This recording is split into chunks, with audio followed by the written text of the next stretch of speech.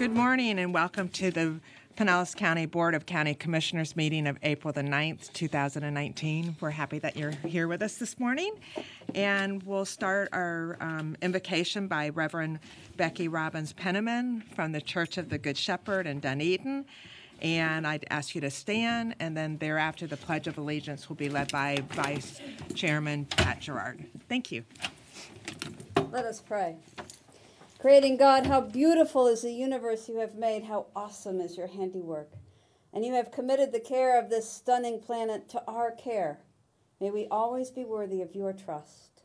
We give you thanks for the proven, dedicated stewards of your creation, especially those who teach us to use our water wisely and conserve and protect our parks and recreation sites so that our children's children's children enjoy the same abundant natural resources as we do. We also ask you to bless those who have a servant's heart, the volunteers who have given countless hours to this community as they care for animals yearning to have a forever home, or swing into action when disaster strikes, or help us appreciate the rich history and heritage of our county, and in so many other self giving ways, as well as the dedicated public servants who guide them all. As the members of the Board of County Commissioners take up their work, we ask you to give them wisdom to face problems with clarity, the broad mindedness to find solutions with creativity, a sense of gratitude for the resources under their care, and the determination to respect the dignity of every human being. We ask your blessing this day and, and every day on all who serve in county government and our entire community, whether they work, live, or visit in this corner of your paradise. Amen. Amen pledge allegiance to the flag of the United States of America and to the republic for which it stands, one nation, under God, indivisible, with liberty and justice for all. Thank you very much.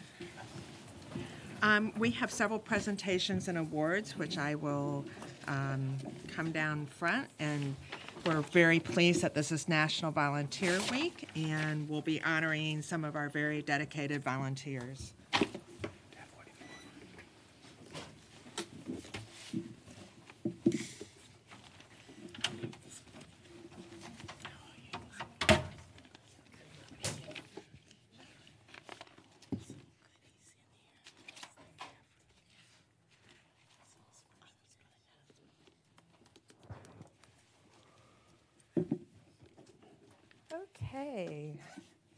Wow, we have a lot to a lot of people to honor. Um, so first of all, I'm going to um, do a proclamation to recognize National Volunteer Week. And um, at this point, I'd like to ask the site coordinators and volunteers from Animal Services, Emergency Management, Heritage Village, Parks and Conservation Resources, and Human Resources to join me at the podium. They will be accepting the proclamation on behalf of all the volunteer services staff in Pinellas County.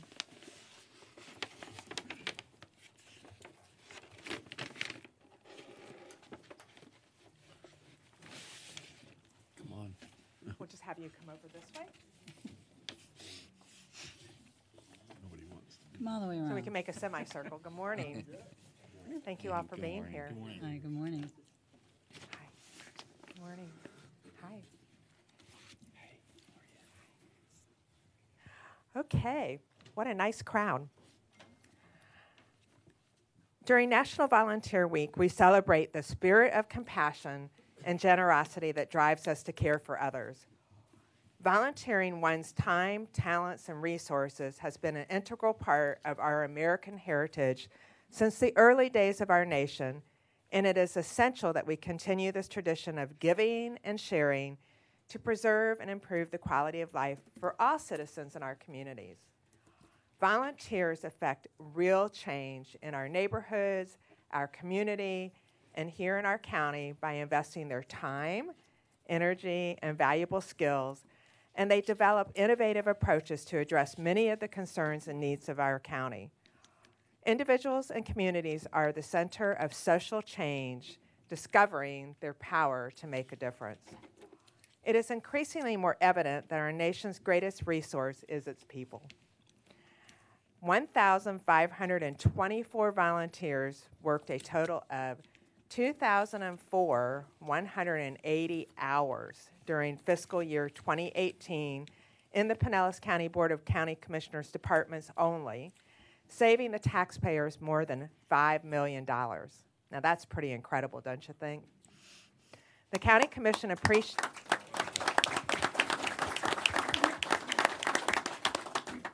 The County Commission appreciates its volunteers and encourages citizens to become involved in their communities, neighborhoods, and local government.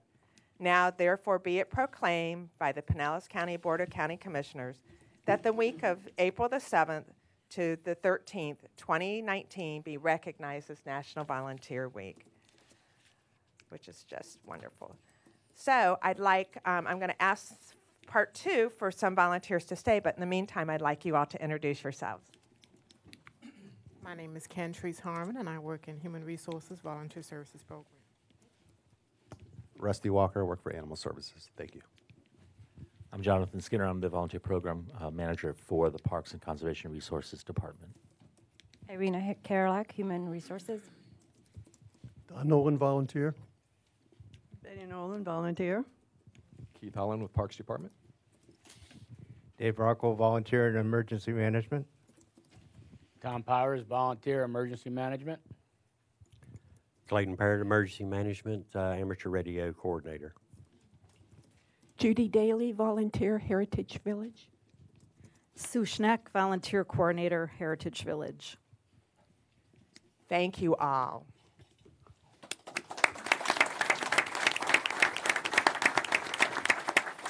So we're going to squeeze together a little bit, and then county commissioners would like to stand behind so we can get a good photo.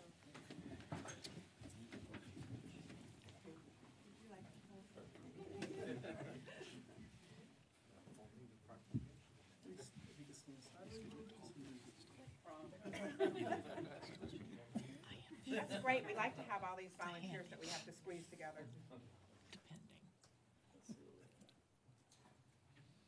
All right, I'll give you three counts. One, two, three. One second.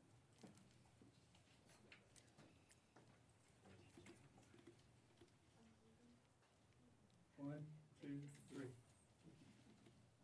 One more. One, two, three. Thank you.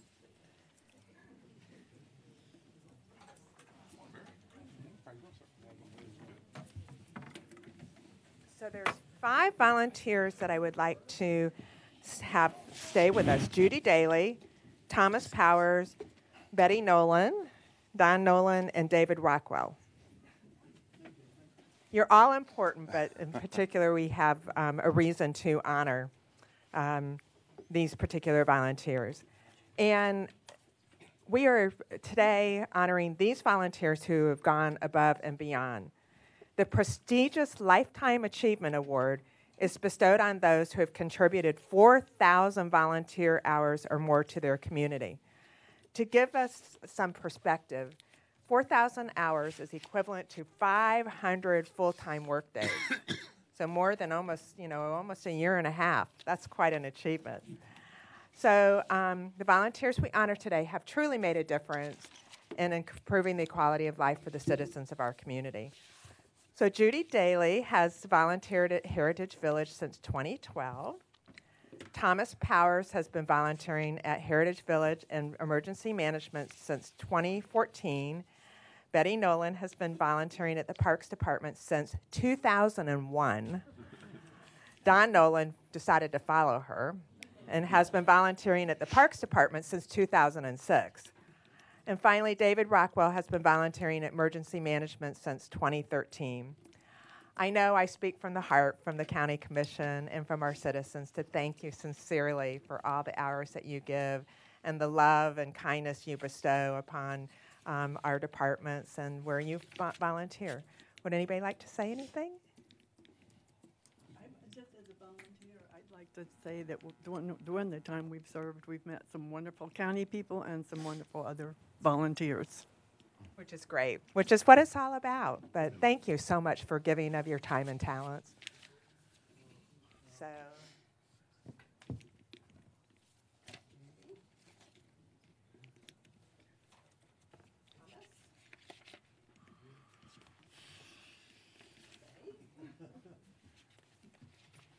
are all certificate of appreciation. Okay, all right, commissioners, should we?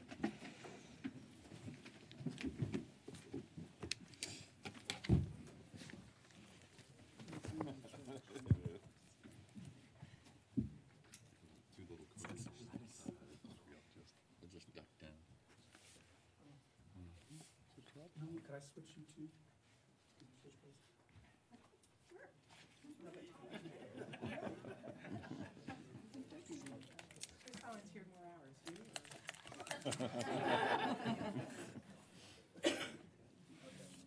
Ready? One, two, three. One, two, three. Thank you. Thank you so much.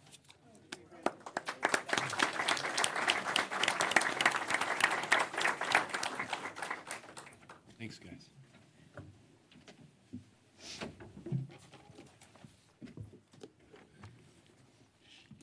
As our volunteers leave us, um, again, we sincerely thank them and encourage each and every one of you in the room to follow their example and to volunteer um, within the county. Okay, next we have Water Conservation Month proclamation. And I'd like to ask Water Conservation Compliance Officers Jeremy King and Kevin Tank from the Utilities Department to join me at the podium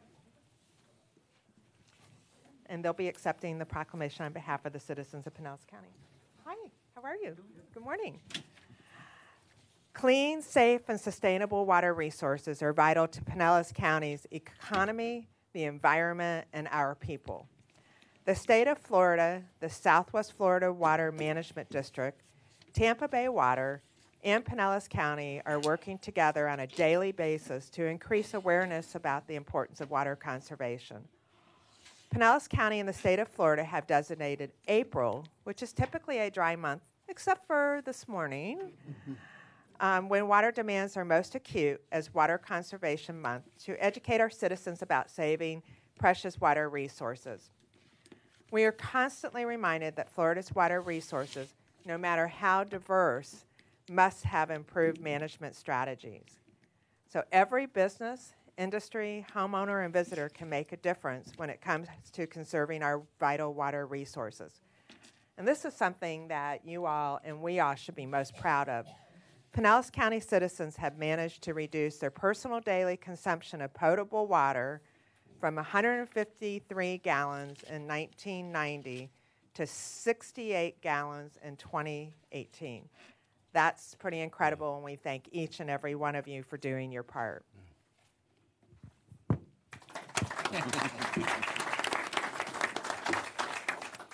Now, therefore, be it proclaimed by the Pinellas County Board of County Commissioners that April 2019 be recognized as Water Conservation Month and that we all continue to observe and try to reach that goal of 68 gallons. Thank you. Would you like to say anything? Um, just water, not necessarily a renewable resource, and we have an abundance of it here in Pinellas County. But we still should take the time, especially with the reclaimed water. I don't know if anybody lives in a reclaimed area, but um, education is the biggest thing we're going for right now.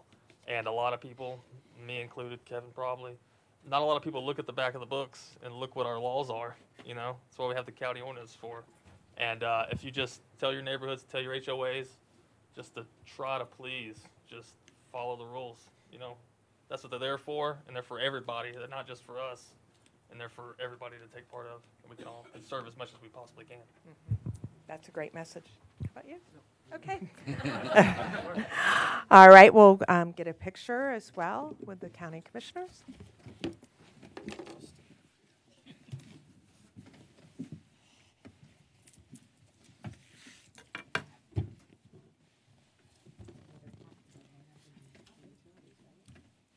Let's move over this way. Is that good?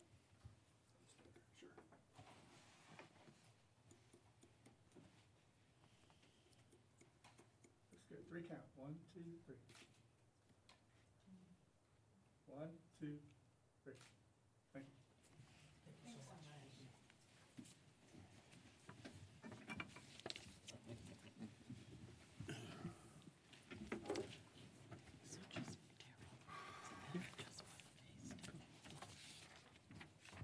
you. Okay, this is kind of a cool award. It comes with a beautiful stepping stone. This is our Community Waterwise Awards, and this was started in 1998 to recognize property owners who are leading the way in outdoor water conservation. The winning landscapes each year are excellent examples of Florida friendly landscaping practices at work. And you can Google this and also start to follow their practices.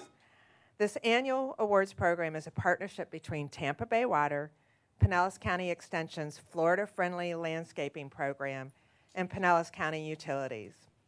So this year we're recognizing two winners in the single family residential category and one winner in the demonstration garden category. So at this point, I'd like to ask Brian Niemann, who is the Florida Friendly Landscaping Agent with the Pinellas County Extension, to join me to present the garden stepping stone to the winners. Hello. Nice to see you. How are you? I'm well, thank you. Okay, so the first um, 2018 Community Waterwise Award in the residential category is presented to Owen O'Leary of Clearwater.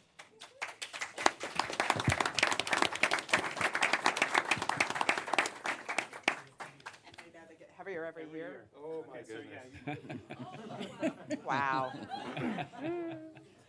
Very nice. So Owen has been working on beautifying his landscape for approximately eight years and transitioned from away from all turf grass over five years ago. He decided to create a yard made entirely of shrubs. Here we go. Wow. Trees and ground covers. The landscape exists primarily on rainfall, with occasional well water being applied by hand during the drought. Thank you. Owen does all the landscape management himself, and his landscape serves as a model for how to create a healthy and attractive landscape that provides wildlife habitat within an urban setting. So, thank you on behalf of the Pinellas County residents for what you've done, and this is just beautiful. Thank you. So, any tips for anyone? Um, You got this. oh, thank you. That's heavy. um, thank you so much. Um, my yard is an ecosystem, and it's connected to Pinellas County.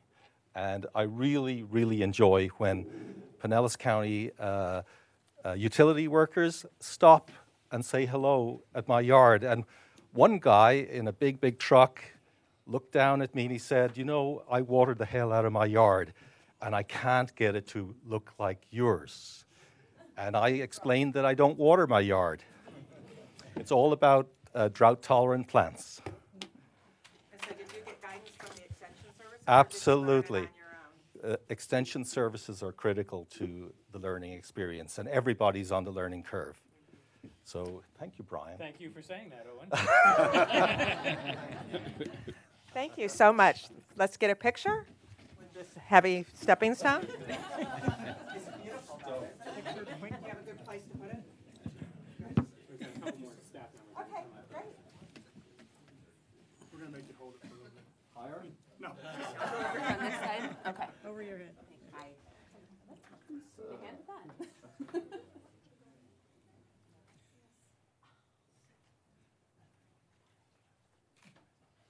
Hey, one second, please. My glasses are.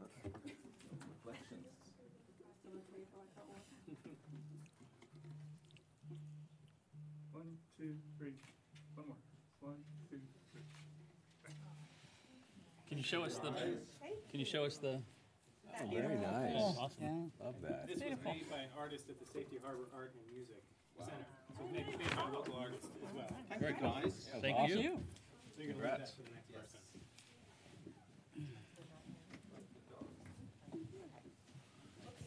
Got two more. Oh, that's, David's not here either? Yeah, he is. Oh, oh okay. Yeah, everybody's here. All right. Okay, the second 2018 Community Waterwise Award in the residential category is presented to David Grunewald of Kenneth City. Would you like to come forward, David?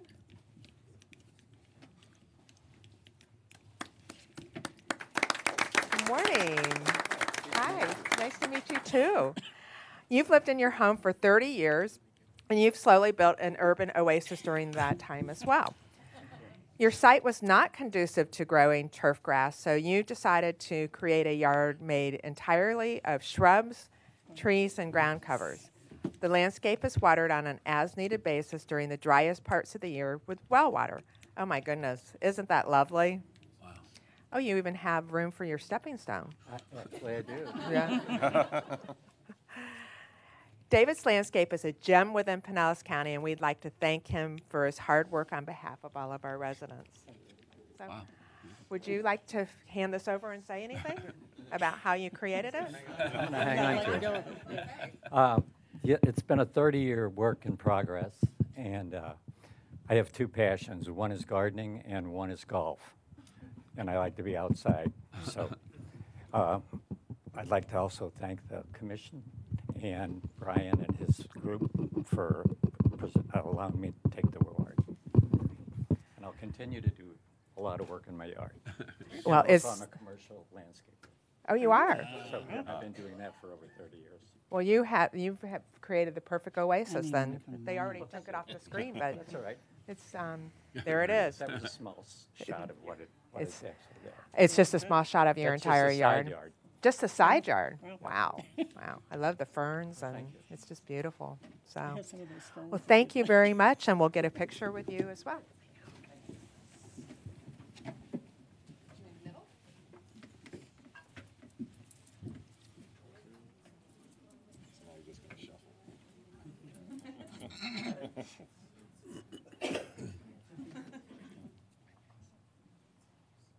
One, two, three.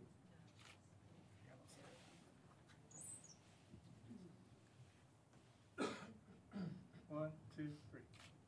Good, thank you.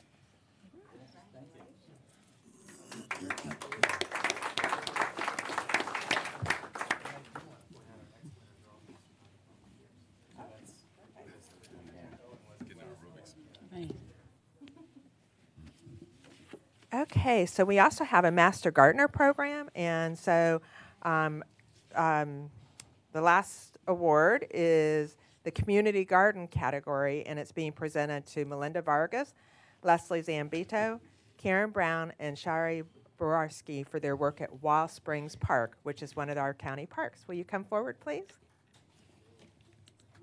Oh, the fairies, the garden fairies.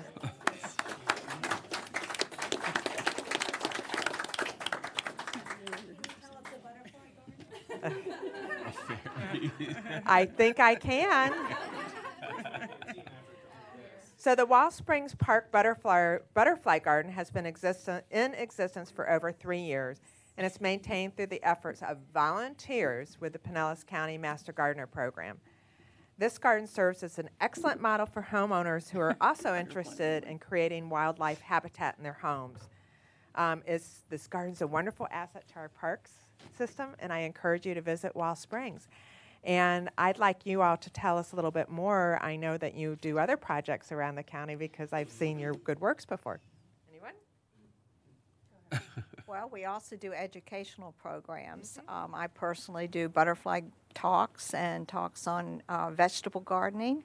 Um, just such a good educational thing for us to do to teach the public how to, you know, be ecologically correct in what we do. Thank you. How about you? I'd like to say um, that we took over the Wall Springs Park in March of 2018, and there was literally nothing there. Um, we are working there like every Wednesday, hundreds of hours between us, and we are currently seeking out funding because everything so far has been coming out of our own pockets. So um, we can make um, a difference, but we could make a big difference if we got the community to help us with donations. And do you have a website or do you have some way of being in contact or can you help us with that? Well, yes, we do. Yeah, I'm Teresa Badurek, and I'm the Master Gardener Coordinator here in Pinellas County. And at the Pinell, um, the University of Florida IFAS Extension Pinellas County website, there's a link under the Lawn and Garden tab for Master Gardener uh, Volunteer Program, and there is a place where you can donate, and uh, you can actually indicate that you'd like it specifically go to the Wall Springs Butterfly Garden if you like. So thank you guys very much. These, these, they do wonderful work there in that place. Every time I visit, it's just growing and growing.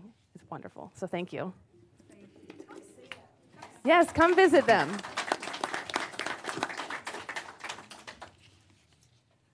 Might have to invite you to our house. We're trying to do a vertical garden, so one of those drip gardens. Um, so far, we're successful with lettuce, lots of jalapenos. So we're ready to harvest and um, can them, and um, so, but nowhere near probably the beauty of what you've created in Wall Springs. And so we thank you.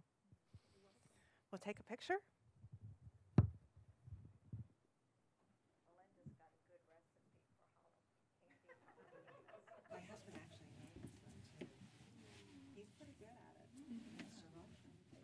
Oh, wait, our wings. Can you see her? Show the wings. That's good. Got a wing in your face. Oh, and they got butterflies in my shirt. All right, here we go. One, two, three.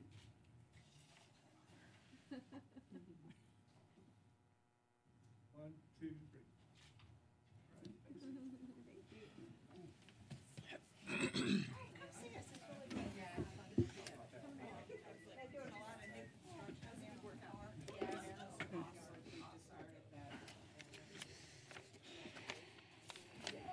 It looks like a castle. It's so amazing.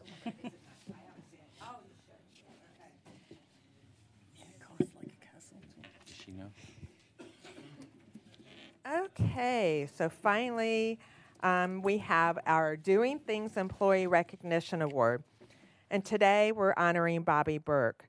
So I'd like um, our administrator, Barry Burton, and Bobby, would you like to join me here at the podium, please?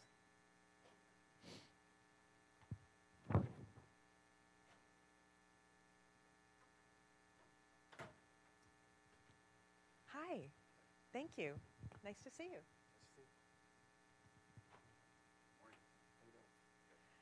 Our employees work hard every day to make our community better. In an ongoing video program, we recognize uh, individuals who exemplify the dedication of our Pinellas County team. It's only through our employees and the excellent work they do that we can fulfill our vision, which is to be the standard for public service in America. So, when one of our utilities customers has a water leak, Bobby Burke is often the first person to arrive at their home.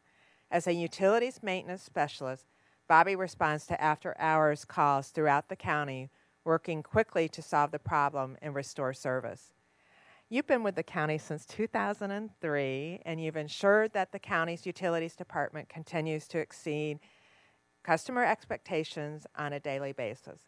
So, with that, we'll show you a video that's a snapshot of the work that Bobby does every day.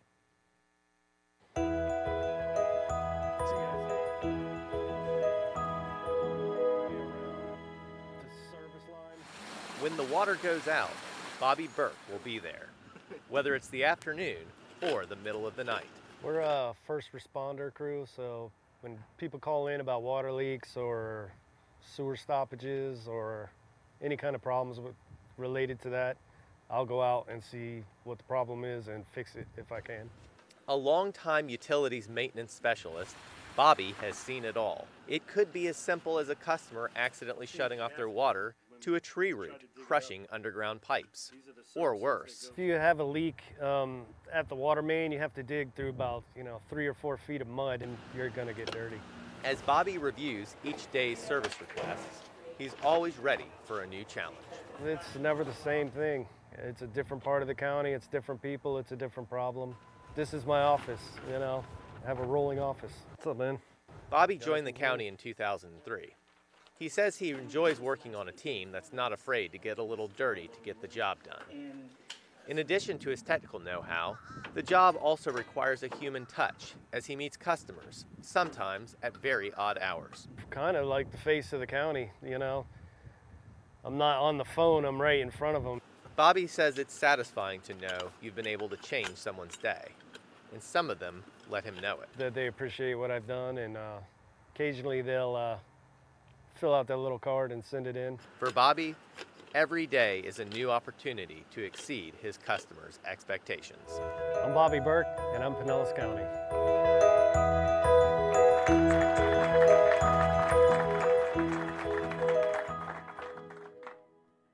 So I'd like to ask you, what is the most unusual situation you've encountered? Uh, just like water blowing 30 feet in the air or things like that. Fire Okay. hydrants getting knocked off and there's a big like pool. Because people have crashed into them Yeah. or something of that nature? Yeah. Wow. Oh my goodness. Thank you so much. Well, like you said, that you're the face of the county. When somebody's having an issue, they're they're looking for someone to resolve it, and you're there. And so I know they appreciate, and on behalf of everyone, thank you so much for what you do.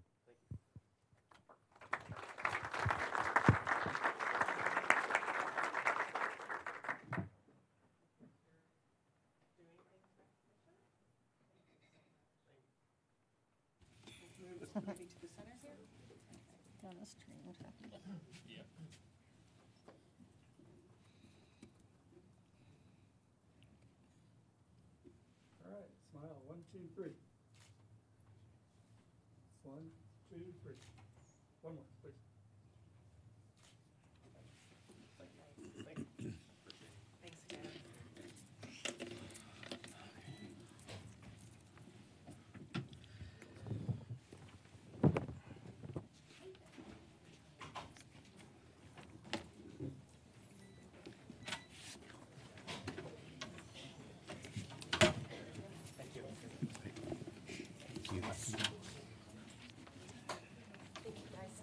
Congrats. Great job. Thank you. Keep doing your great fairy work. We appreciate it. You're turn- You're sprinkling magic all over the place, attracting those butterflies and beautiful landscapes. Okay, next is our partner presentation, and we are proud to present the 2018 annual audit. And I'd ask um, Claritha Harris, who is our Chief Deputy Director of the Finance Division and the Clerk of the Circuit Court, to introduce our next guest. And before she does so, Claritha is going to be retiring this year, unfortunately. So this will be her last official presentation of an audit on behalf of Pinellas County. And how many audits have you been through, Claritha? Well, as uh, chief, as uh, a part of the clerk's office, I've been through 26 audits. But prior to working for the clerk's office, I was actually the audit manager with Grant Thornton, who audited the county for the first 11 years under an external auditor. So I guess I've been associated with 37 county audits. So- 37? Yes. Wow.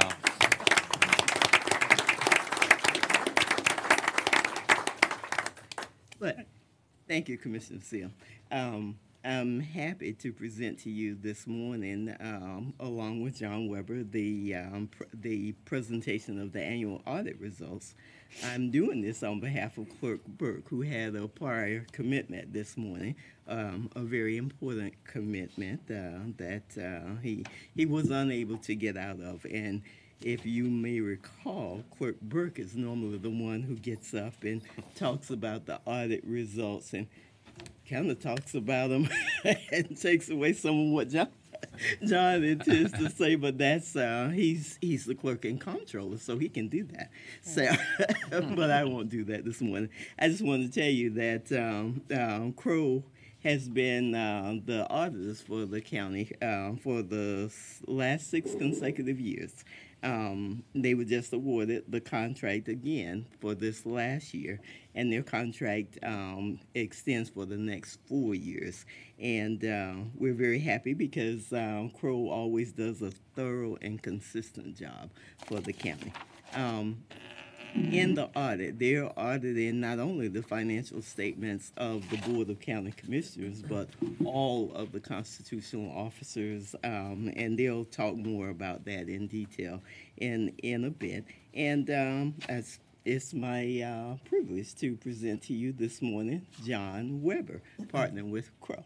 Thank you. Good morning. All right. How is everybody today? Good. Great. I always clear out the room for some reason. When I come up, most people uh, take off. So yes, I'm here to talk about the uh, comprehensive annual financial report for the fiscal year ended uh, 2018. Uh, This is the actual 203-page document I'm going to walk through with you today. I'm not going to go over every page. so. Um, But um, uh, yes, this is prepared by uh, Claritha and her team. Uh, They do an excellent job putting this document together, uh, as well as helping us with uh, getting through the audit process.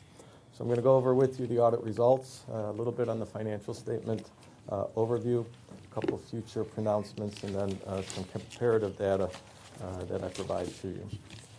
The independent auditor's report uh, on the comprehensive annual financial report is an unmodified, or otherwise referred to as a clean audit opinion. Uh, That means all the numbers in the financials are reasonably stated uh, and presented in accordance with generally accepted accounting principles. We issue an independent auditor's report on internal control over compliance. This is done in accordance with government auditing standards. And here we're uh, just evaluating if, if we determine throughout the audit process we find any material weaknesses or significant deficiencies in internal control. And I am happy to report to you, we do not have any material weaknesses or significant deficiencies in controls. The independent auditor's report on federal and state grants. Uh, Here we are auditing uh, the federal funds you receive as well as the state uh, grant funds you receive. And our goal here is to determine that you complied uh, with federal as well as state uh, laws and regulations. And happy to report to you, again, an unmodified opinion. Uh, That means you complied with the requirements applicable to, to those grants. Uh, In addition, we did not have any uh, material weaknesses, significant deficiencies, findings, or question costs. So uh, wonderful uh, audit results, um, and everybody should be very happy uh, and certainly proud of their finance department uh, for, for achieving these results. Uh, As Claretha mentioned, we do uh, audit um, uh, all of the um, uh, elected officials, uh, as well as issue some separate reports. Uh, So these are all listed here. Um, I'm not going to walk through all of them with you, but they are uh, separate reports for all the constitutional officers, uh, as well as a couple other funds of the county. So those are also clean, unmodified opinions on those audit reports. Uh, We do determine uh, if the county complied uh, with a couple of Florida statutes. One is related to the Deepwater Horizon oil spill and the spending of those funds.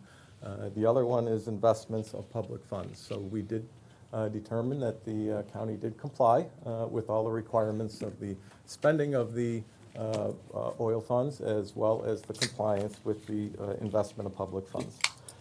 We do a couple agreed-upon procedures reports.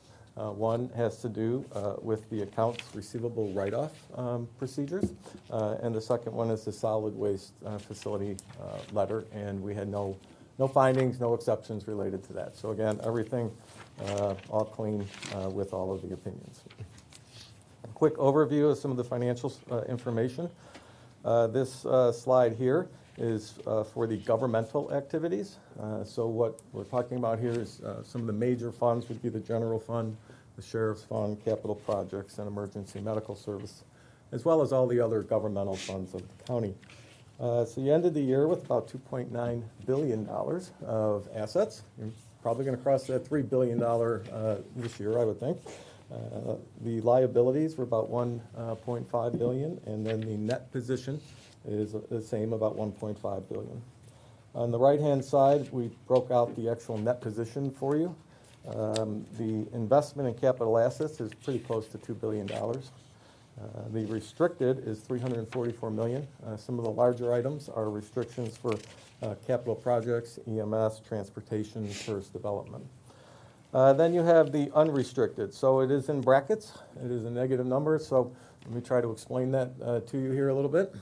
Uh, The reason for the negative number is really related to two items. One is the net pension liability, uh, which three years, a new accounting standard required that the county record their portion of the net pension liability of the Florida retirement system. That amount is about $480 million. This year, we had another new standard that came into effect. Uh, This is GASB Statement Number 75, um, Other Post-Employment Benefits. So the county is now required to record as a liability the actuarial determination for future other post-employment benefits. And OPEB, as we refer to it, is mainly related to health care and what's going to be made available to retirees uh, at, at, at the county. That figure uh, in, for the governmental activities was about $708 million uh, that has been added to the statement in that position for the county. So those two numbers together equal almost $1.2 billion. While I cannot take those numbers away, uh, if they were not there, you would have a positive net position of about $328 million. Okay? Madam Chair.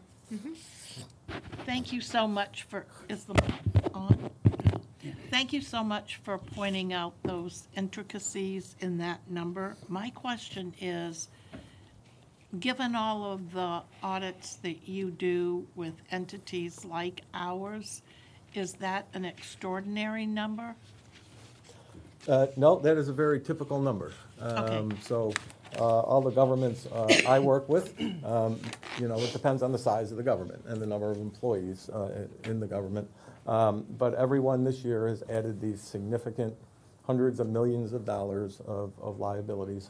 These are not funded plans, that's why the liabilities are there. And um, I don't have any clients that actually fund uh, the OPEB plans. They're basically on, on a pay-as-you-go basis. So as you incur the costs each year, you pay for them each year, and each year you're budgeting for those um, estimated costs for the particular year. So I have a follow-up, Madam Chair. So, uh, and I apologize if this sounds like, you know, a bit off, but those costs are not costs that we can necessarily control, correct? Well, the pension liability, no. Uh, The OPEB liability, um, some yes and some no. It, uh, The state has requirements and what you need to offer. Um, But there's, there's, you know, the county has uh, plans in place that are allowing for these other post-employment benefits. That is a matter of policy. Thank you. Mhm. Okay? All right, this next slide is the uh, business-type activities. So the major funds here are the water, sewer, solid waste fund, and then there's other uh, funds included here as well.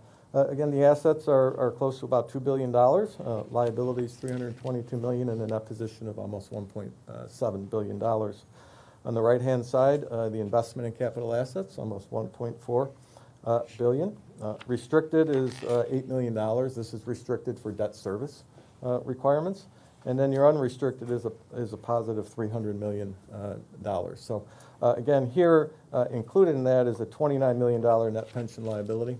And then the uh, OPEB liability is about uh, $65 million. My quick highlights here for you, uh, the general fund. Actual revenues were about 576 million for the year. You had budgeted, budgeted about 573, uh, so you were positive to your budget, almost uh, 3.9 uh, million dollars. On the expenditure side, you had 237.7 million with a budget of 267.4, so you were, uh, had a positive variance again. You did not spend as much as you did budget by about 29 million. For the sheriff's operation fund, the actual revenues a little over $20 million. Uh, The budget was 19.8, so positive, again, on the revenue side of about 765,000. Expenditures for the sheriff were about 314 million, uh, with the budget of 316, and so it was positive there as well of almost uh, 2 million. And then the EMS, uh, the revenues, uh, again, about 120, budget 115, so that was positive. Uh, Expenditures had a positive variance as well. So all of the um, variances were positive on the revenue side as, as well as the expenditure side for the year. Uh, The right-hand side here, this is the major enterprise funds. Uh, So we're showing you, you here the operating revenues, operating expenses, and then the operating income. So just when looking at this, this does not include any interest income or interest expense. It's basically the operations of, uh, to to run the water, sewer, and solid waste system. Uh, So the water was uh, positive about 4 million this year, uh, sewer 12 million, and solid waste about 14 million. I know you love these uh, pronouncements because I always put these big numbers on your books. Uh, So we have two new ones for uh, the fiscal year ended September 30th and 19. The good news is, uh, these are not going to really have any effect on your financial statements. We're not going to add any more liabilities. And um, it's going to be a little bit on footnote disclosure, but nothing, nothing uh, that's, uh, you know, going to make major changes here to your financials. All right, so some of the comparative uh, information uh, that's going to follow here. Uh, This is taken from 2017 uh, comprehensive annual financial reports of um, other counties. Uh, That's the latest information publicly available. All of the 18 reports are not yet filed, so I don't have, can't get my hands on them yet. Um, And uh, some of the budget information we actually cannot get from the reports, but we're presenting the ones we could get for you, okay? So uh, this is, some of this is from the statistical section in the comprehensive annual financial report. Uh, The county government employees uh, ended at about, or this year was 5821, uh, 5739 last year, uh, so about an increase of 82. Uh, Residents per county government employee, you see it was 167 for 18 or 169 uh, for 17. Uh, Just remember here, the higher the number, I look at as better. Uh, That means you have one uh, county employee for every 167 residents, okay?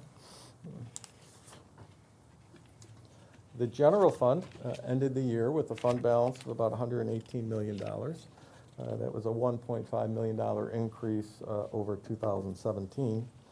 And then on the right-hand side, the number of months expenditures and transfers out. And the reason we include the transfers out is that's where the uh, numbers are recorded that you're transferring to the elected officials for, for operations. Um, Ended, uh, you have about 2.4 uh, months of expenditures and transfers out in your fund balance, okay? And then I always end with your, your all favorite slide.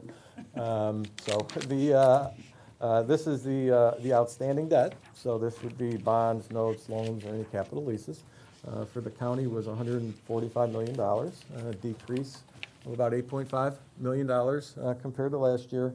And then you see your debt per capita uh, ended at, in 2018 at basically uh, $150. So you can see there's a low of 150 and a high of 1,383 here. Is- So it's very, very low, very low debt um, uh, at the county. With that, I'd be happy to answer any questions you may have. Does anybody have any questions? Nice to have a good, clean audit. Absolutely. And also, I think we're always proud of the uh, last uh, page of the presentation that shows that we generally pay as we go, and we are very conservative as far as our debt.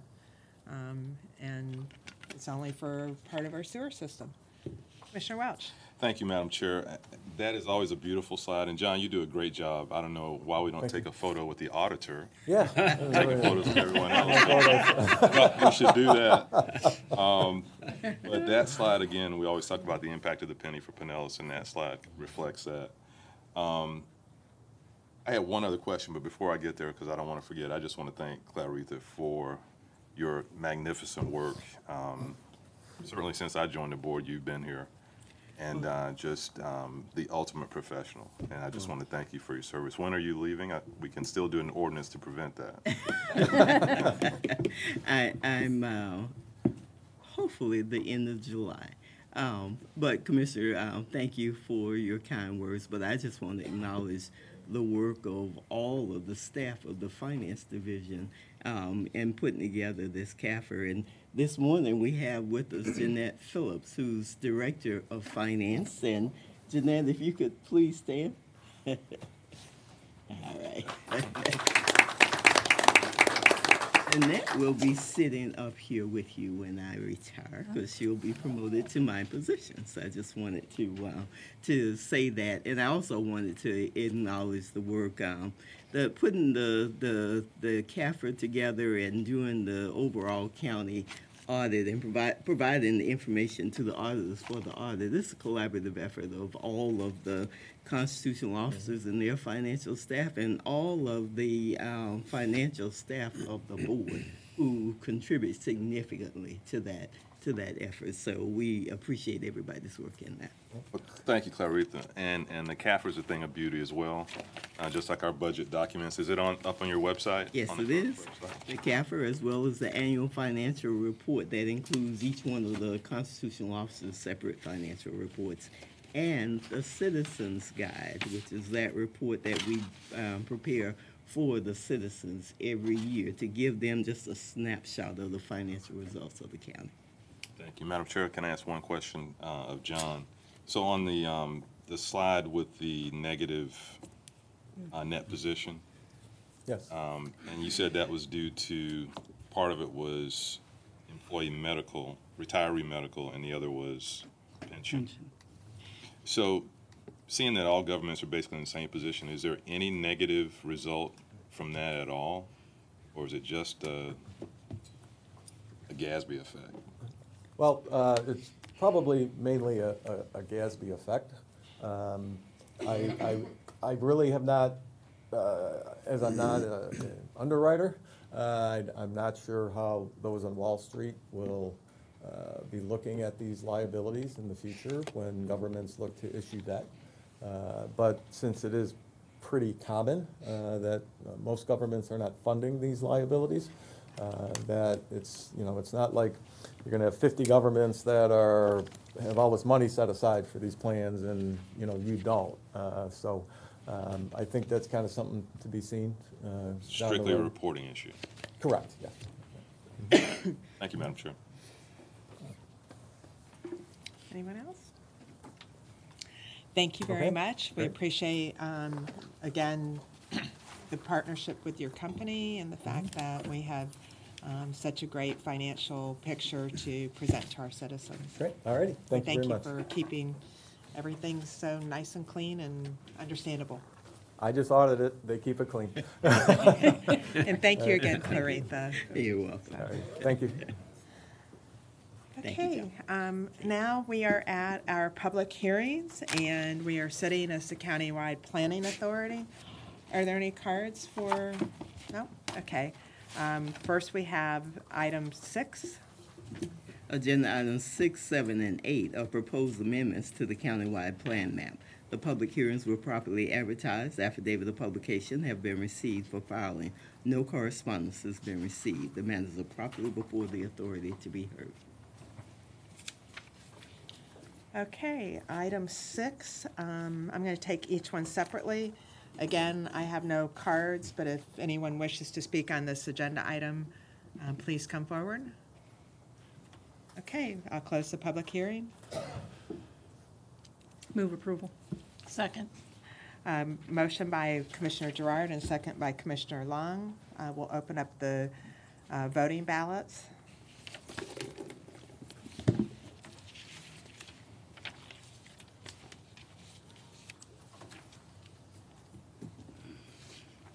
Oops, Mine is not coming up. I guess I'm guilty.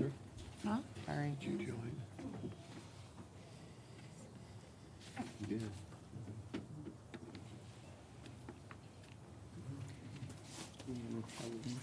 I'm going to vote yes. I apologize, it's just not I coming know, I'm up. having trouble as well. Up, here we go. All right, we're all there. Unanimous vote. Thank you very much. We'll move on to agenda item seven, which is uh, case number CW 1905. Um, Is there anyone in the public who wishes to come forward and speak on this agenda item? We'll close the public hearing. Any questions? Move approval. Second. Motion by Commissioner Eggers and second by Commissioner Gerard.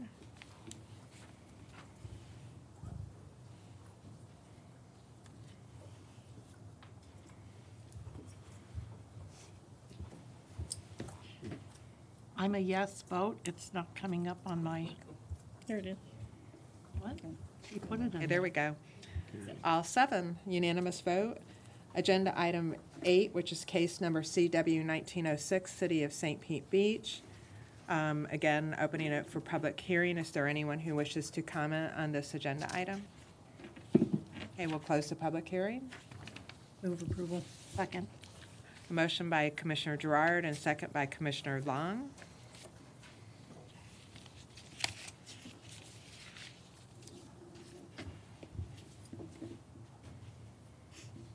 I'm a yes vote.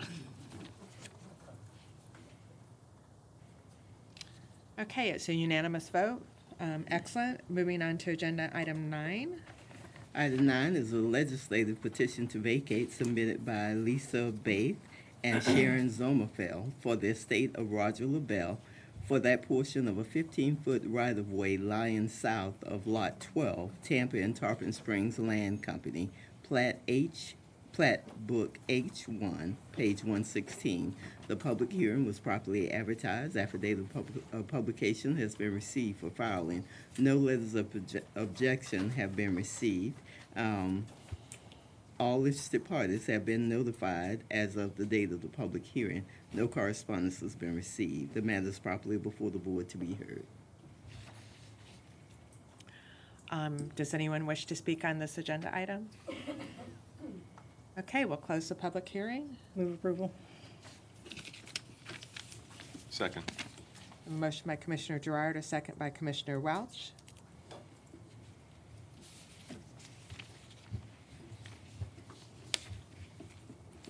I'm a yes. So it is a unanimous vote.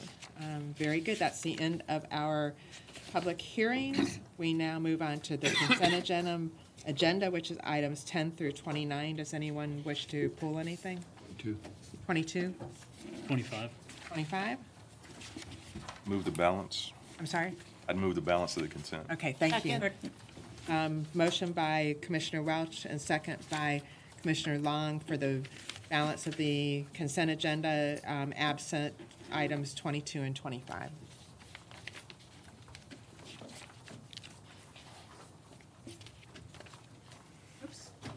Yes, right. I'm a Uh, that yes. was Nine again. Sorry.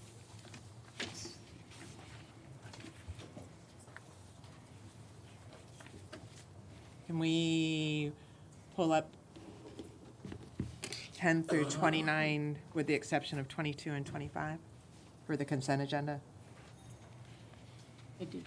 It showed up as agenda I, number nine. It showed up as item nine.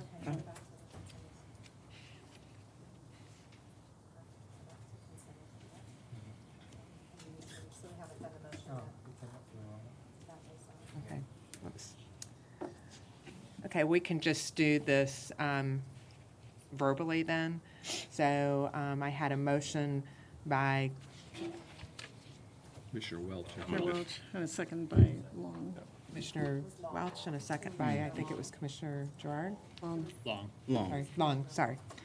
Um, With the exception of 22 and 25, all those in favor say aye. Aye. Aye. Any opposed? Okay. Yep, there it is. Wait, that's a different one. No, This is the wrong item. We're not on 30 yet. Okay, so let's, um,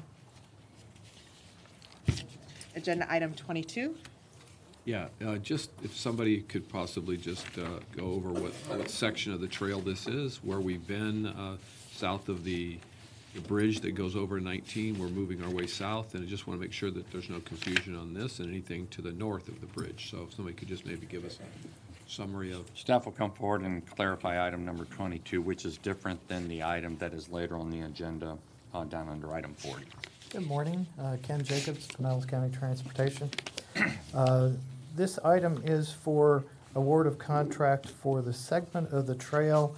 It is part of the Duke Energy Trail. Uh, If you go to the overhead, uh, basically, it's a, a missing segment between Sunset Point Road and Northeast Coachman that goes down the Duke Energy Trail. Uh, Previously, we had completed the section north of there that connected the Enterprise overpass down to Sunset Point Road. and this one is coming up, what's, what's the next phase south? Where would that go? Is that going to go? Uh, We do have an intersection improvement at Northeast Coachman and Coachman, so this will connect to that intersection and then go in front of the ballpark. Okay. Connect to that section that then takes you down to Belleair and across to US 19. So the next section picks up south at Haines Bayshore and US 19. Okay, so, so this is the last little piece? That there and the to- intersection improvement that's, Yeah. that's currently under construction. Okay, thank you, appreciate it, thanks for the update. Okay. Move approval on that. Second. Um, Motion by Commissioner Egger, second by Commissioner Justice. Just want to make a comment. I know I sent this agenda item to someone who's in the neighborhood of Coachman Ridge, and I would just ask that there be some further communication. We have it already going, but to make sure that the, that neighborhood all understands exactly where the trail's going. They had a meeting there quite some time ago, but just a reminder of where it's going to go is great. Thank you. All right. The voting cards are up. I'm a yes.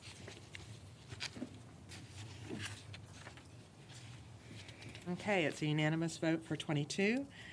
Um, The next phase of the Duke Energy Florida Trail. Yay. All right, agenda item 25, Commissioner Justice. Thank you, Madam Chair. I just wanted to clarify that this is a, uh, a engineering study as far as to determine the location of our uh, regional stormwater project. That's correct, that's correct. So this will give us the study to where they can regionalize these services um, and give us options. Okay. Yeah, the, the map, it wasn't hundred percent clear. There's a location arrow, and I realize it's the entire CRA, not a specific spot on the map. Just wanted to make sure that was clear for anyone else. And um, this is a great project moving forward for uh, helping the 28th Street and Joe's Creek and everything in there. So move approval. Second. Okay. Motion by Commissioner Justice, second by Commissioner Eggers, and um, just wanted to note that this study is being funded by the Penny for Pinellas. Voting cards are up. I'm a yes. Okay, it's a unanimous vote. Okay, moving on to the regular agenda, we have agenda item 30, Convention and Visitors Bureau. This is a um, submit, uh, capital funding uh, submittal from the DALI uh, for 17.5 million in net present value. Um, We're asking for authorization in accordance with our capital guidelines to conduct the due diligence by the county and the consultant and seek your approval to begin that process. Good morning. Good morning, Tim Ransberger, the SPC staff. Mr. Burton set this up, so I'll just skip ahead here. We have Mr., uh, or Dr. Hank Hine here, who's the executive director of the Dali Museum, who's here to, I believe, uh, say a few words and, and answer any questions that you might have. Um, What It's is a- the this is a timeline for this, and how will it, um, how will it mesh with the other capital projects that have been submitted? So my understanding, this is the first uh, of its kind that we've uh, undertaken under the new guidelines. Uh, Your consideration today will advance this to uh, review by the TDC with all the other applications. So the other four remaining, or three remaining applications, total of four, we'll advance that through the process of consultant review, staff review, county attorney review, and obviously TDC review for Okay. recommendations to the, to your, So they'll basically all be in the same pipeline being considered by the consultant? yes, ma'am. Under the new guidelines, uh, because this request is in excess of $10 million, it comes for a preliminary review by this, this commission at this time. Any questions? Move approval. Second. Okay. Okay, so it'll start moving through the process, and we will um, be um, considering what dollar amount, how it fits um, all the guidelines, and um, et cetera. So it, next will go, once it goes to the consultant, back to the Tourist Development Council as the advisory group, and then um, to us at a future date. And I'll just as a reminder, say to everybody, you know, we will, we have a lot of capital needs that have been indicated, and so we're going to have to be lining these all up to try to make some judicious decisions. So, Madam Chair, what is the total now, including this, that in terms of applications? I believe it's $22 million. I'm looking for Bill Berger here. I So believe it's- this. In the back, he's shaking his head yes. Yes, $22 million. And and then, of course, you have the uh, City of Clearwater and the Phillies application, which is on a different track. And that's without the um, Phillies request. Yes, ma'am. And they'll each be put through the legal review as well by Michael Zas to see what meets the guidelines as well. Commissioner Welch? Thank you, Madam Chair. I was looking forward to getting to a deep conversation about capital funding guidelines. I'm disappointed, Commissioner Long. Well, I'm. I That was have- facetious. I- Hold on, Um, hold on. No, I'm not going to give you that chance. Let me. No, wait a minute. ask my Yes, you question. did. You opened it up, No, Madam but I'm still Chair. asking my question. So where are we in the Dali, in the 2.5 million that we were paying in $500,000 increments? Have we finished that? I Or is this- believe there's still payments, I- I'll ref- Um, defer to The Bill last Berger on payment that. is 2020, And One more, yeah, one more year, this year and next. fiscal year 2020. FY 2020, okay. And this is only the second time that we've had to come here for the pre-approval, the Phillies and then this one? Yes, and for two different reasons. The Philly's on a separate track because of the nature of the, the request, and this is on a separate track because of the uh, uh, 10 million, excess of $10 million request Okay. under the guidelines. And my last question, Madam Chair, is when are we having that big discussion about bed tax, potential uses, and all the other things you mentioned, transit, infrastructure, um, arts? That's something that Mr. Burt and I have been discussing. Turn it over to Well, I think there's, there's two discussions there, because one, you've asked for a, a joint meeting with the TDC, um, and then the other piece being, um, all of our other capital type items. So we're, we're looking at that, we haven't scheduled a fixed date on that yet, still waiting on some additional information, especially on the transportation piece. Okay, so you're talking months or The next few summer or months. so? Yeah. Okay, thank you. Which has been pushed back somewhat. um, And so, as I've indicated before, what my intent is that we'll have the county commission look at all the transportation needs and m- monies available, have that discussion, then I'll bring it to the TDC, and then we'll have a joint workshop between the county commission and the TDC, depending on the outcomes and questions and all of that. Okay, thank you. So we'll, we'll keep you apprised of the schedule. Madam Chair? Mm-hmm. I am disappointed that when we started this conversation, it is taking this long for us to get it on the calendar. And if we're not careful, we're going to end up in the midst of summer when everybody's away, nobody can come together, and it's going to be another excuse to delay, delay, delay. So I, um, I'm, I'm happy to move this forward for the work of the due diligence of the TDC to be done. But I do want to have that conversation before we start actually allocating dollars. And I, that's my intention. As I've said before, I plan to come back once we know all the ask and we know what the dollars we have and to have a very robust discussion about how we want to allocate that. We still, you know, are uncertain about the Rays, and so that's another whole unknown in this whole quotient. So I really do want to make sure that we are addressing all of it Well, not may- just one portion of it, because I think that would not be wise deliberation. Well, I have another question, if I might. So are all of our decisions going to be put on the back burner, waiting for the Rays to decide what they're going to do? It's been, I mean, do we have any idea at this point? We don't. We're scheduled to meet with Mayor Kriseman, Mr. Burton, and I very soon, and um, so we, So, so the question on the meeting with the TDC, you can have that discussion. The question is, what, what, what components are you ready to discuss? Um, and you know some of the conversations we've had and the information that we've, we've been seeking. I've kept you apprised of, of some of that. Um, how fruitful of discussion. If you want to talk about the projects, we can have that at any time. We know what the projects are. The, the meat and, and some of the detail behind the projects and where they're going with them, we don't at this point. So, um, I can certainly work with the chair and, and confine that to a certain piece, but uh, there are certain things that, for information that we're, we're, we're waiting for at this point.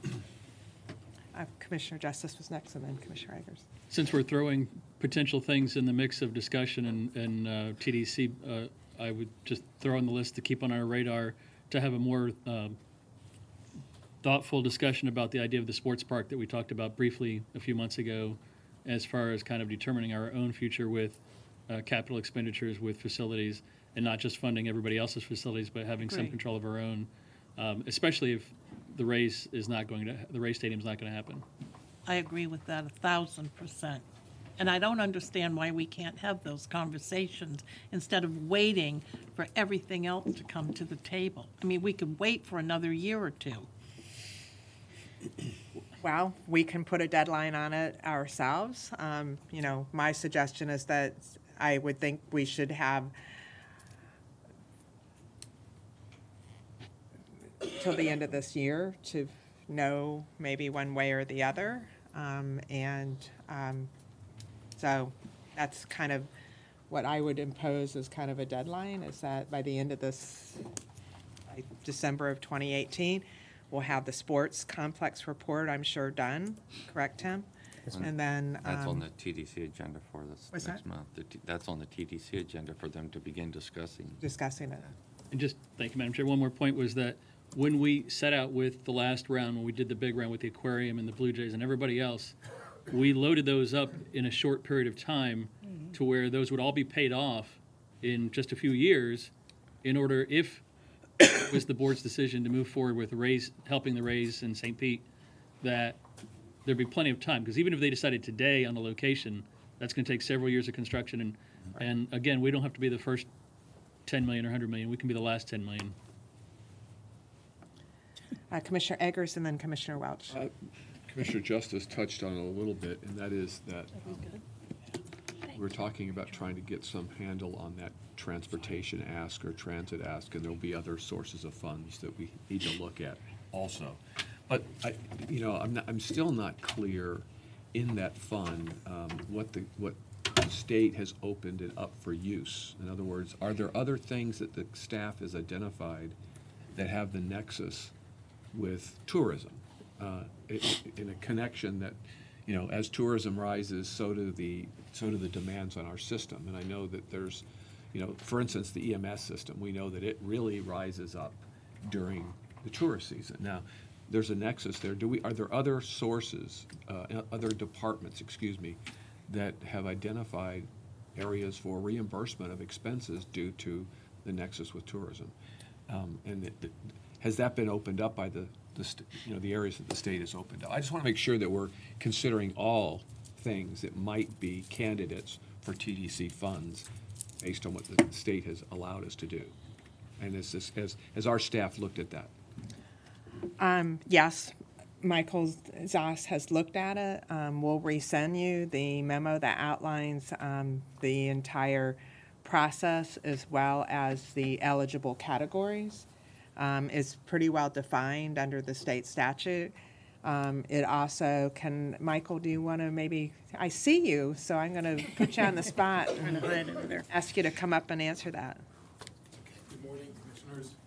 And it also, don't forget, the Tourist Development Council would have to approve any study to see if it meets the nexus for being eligible for um, tourism. And before Michael even jumps in, I'll, I'll add, a- an, imp- a very important first step would be modifying the tourist development plan. Plan. Correct, correct. Good morning, uh, Michael Azas, County Attorney's Office. Uh, One point of clarification is the state statute that does allow for some of the public facility use of these dollars, including transportation facilities, sewer facilities, and that such. Um, The nexus that is required is that it is a direct correlation in regards to a need to uh, increased tourist business activities. So it's not just as a result of increased tourism, but that it's going to generate more tourism in and of itself. That's something that I think we need to kind of keep mindful of that because it's not just a, okay, if there's impacts, we can pay for it necessarily. And as Jewel correctly pointed out, the tourist development plan would have to be modified. That's something that's certainly within your province to do to recognize those additional uses as well as there will have to be a study for each and one of these each one of these requests to establish that nexus before you can use the dollars. So, hope that clarifies it. And So it is a reimbursement piece, but also uh, what it might generate additional, tour- additional terms. So it's not just one. Well, let me emphasize, Yeah. it can, it's capital. it's capital. Capital, it's right. capital. No operations and maintenance, Right. so it really could not, in my opinion, be used for EMS operations, et cetera. Well, the, again, the, ne- the the key is the nexus between does it increase tourist business activities, not is it a need because we have more increased tourism to offset those costs. There was a limited exception for some smaller counties that were able to tap into some of these dollars for, excuse me, for those kind of services, Commissioner Eggers, Yeah. like EMS, but that was very limited in for those particular counties. I believe it was um, Fort Walton Beach and the Correct. And Panhandle Somewhere in the. Panhandle, correct. It was a population-driven, Mhm. sort of. Okay, thank you. Okay. Commissioner Welch? Thank you. A- And that's, you know, going to be a deep conversation, and- and we've all got questions based on what you just said. Um, because I, I know sewer was a popular topic when this was being discussed, and I'm trying to understand how sewer can increase tourism unless it gives you the capacity to have more tourists in. But so that's going to be the deep kind of conversation we need to have. And I agree with your approach, Madam Chair. I think we need to have all the information. Um, so far, we talked about transportation, the sports complex, the arts, infrastructure, all those things, and we really need a, a strategic approach to what we're going to do with that bed tax. It, it can't solve every problem, and so I, I, agree with your timeline that you laid out for doing that. And then besides that is the transportation discussion, gas tax, penny, TIF. That's another conversation that, you know, aligns with this. So, you know, I, I support your approach, and I think we need to have that broad discussion. I think the Rays issue is moving forward. And again, we need to keep that in mind. Hillsborough is basically off the table, as we know. So I, it's a lot for us to think about, but it's really all good things for us to have have to discuss. We got a great revenue source and a lot of great projects. How do we line that up for the next decade or so? So, thank you. And I do want to mention, oh, go ahead, I'm sorry. Well, and one thing, just to, to play on to Commissioner Walsh's comments, keep in mind, the legislature is meeting in Tallahassee right now, and there could be some pretty stark limitations uh, imposed on the uses of those funds directly related to some of the projects you've discussed here today. Well, in relationship to that, do you know specific things that are moving forward? Um, we can certainly try to get an update. I can't tell you right now off the top of my head, but the biggest conversation in Tallahassee has been putting a limitation on baseball. Stadiums, Right. public stadiums, or private stadiums. For both Right. permanent facilities and spring training. Yes. Right. And if they're on government land. Yeah. Okay, um, very good. I appreciate the conversation. I assure you that I, Barry and I have not been trying to purposely delay anything. We just want you to have the best information and to be able to move forward in the most um, proactive and um, conservative, but yet, um, you know, timely as, as we possibly can um, to make sure that we are watching these dollars carefully as well. Um, Barry and I are meeting tomorrow for the April 17th agenda review for the Tourist Development Council. Um, But we have moved ahead. We had our very first uh, Budget Committee meeting plus our Marketing Committee meeting for the Tourist Development Council. Both meetings were, went very well. At the April 17th meeting, after the Tourist Development Council meeting, we are going to have a very, very robust discussion about um, our marketing and the return on the investment, et cetera. So um, we are following the protocols that I told you we were going to and trying to um, keep our arms wrapped around the real um, expenditures of the tourist bed taxes and making sure we have the proper um, investments. I mean, obviously, we're doing quite well because if anybody's driving our roads, that is um, probably a very um, stellar time again for our tourists visiting our area. So have patience. Okay. Um, We had a motion and a second. Do we have to vote on that? Commissioner Peters, I'm sorry. Do we have to vote on that? That's what I was trying to, do. Yeah, you had a motion second. We have a motion and a second. I think so.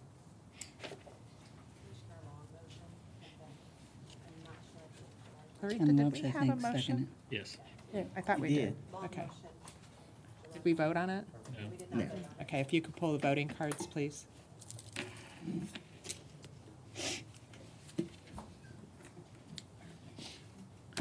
I'm sorry, it's still not coming up there, but yes. Okay, unanimous approval to move forward, and we will keep all of the comments in mind that you just made. Uh, Agenda item 31. Item 31 is a service area competition grant award with the U.S. Department of Health and Human uh, Services uh, for healthcare for the homeless uh, program uh, in the um, funding amount of $1,456,000. Move approval. Second. I'm sorry, who made the motion? Um, Commissioner Welch, and second by Commissioner Justice.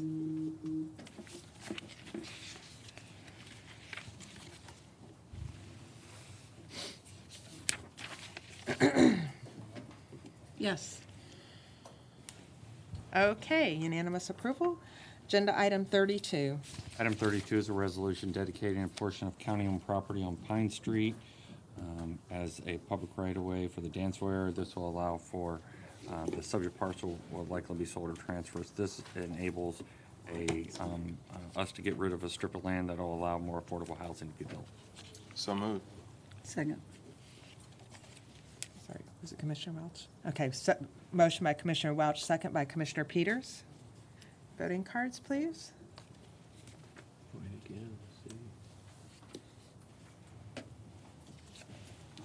Yes. Okay, unanimous approval. Agenda item 33. Item 33 is an interlocal agreement with the city of Tarpon Springs for the planning, engineering, design phases uh, for a dredging project. This will provide $300,000 on a reimbursement basis. Um, The city is in partnership with U.S. Corps of Engineers uh, for this uh, particular project. Move approval. Second. Okay, um, motion by Commissioner Justice, second by Commissioner Gerard. And um, I noticed that we all did get a letter about the additional request, and I'd like to request that we put that on a work session item Okay. um, to have more robust discussion about that. I had planned to put it in as a, as an ask during the, um, our, ones that we have to, yeah, yeah, for next week, the ones that are due next week are. Decision individual package? asks. Yeah, because I wanted to further the discussion and com, and conversation about this, so I want to make sure that we didn't lose sight of it. Uh, I don't know when that workshop's going to happen, but Yeah, we'll put it on a workshop Well, This um, would be part, item.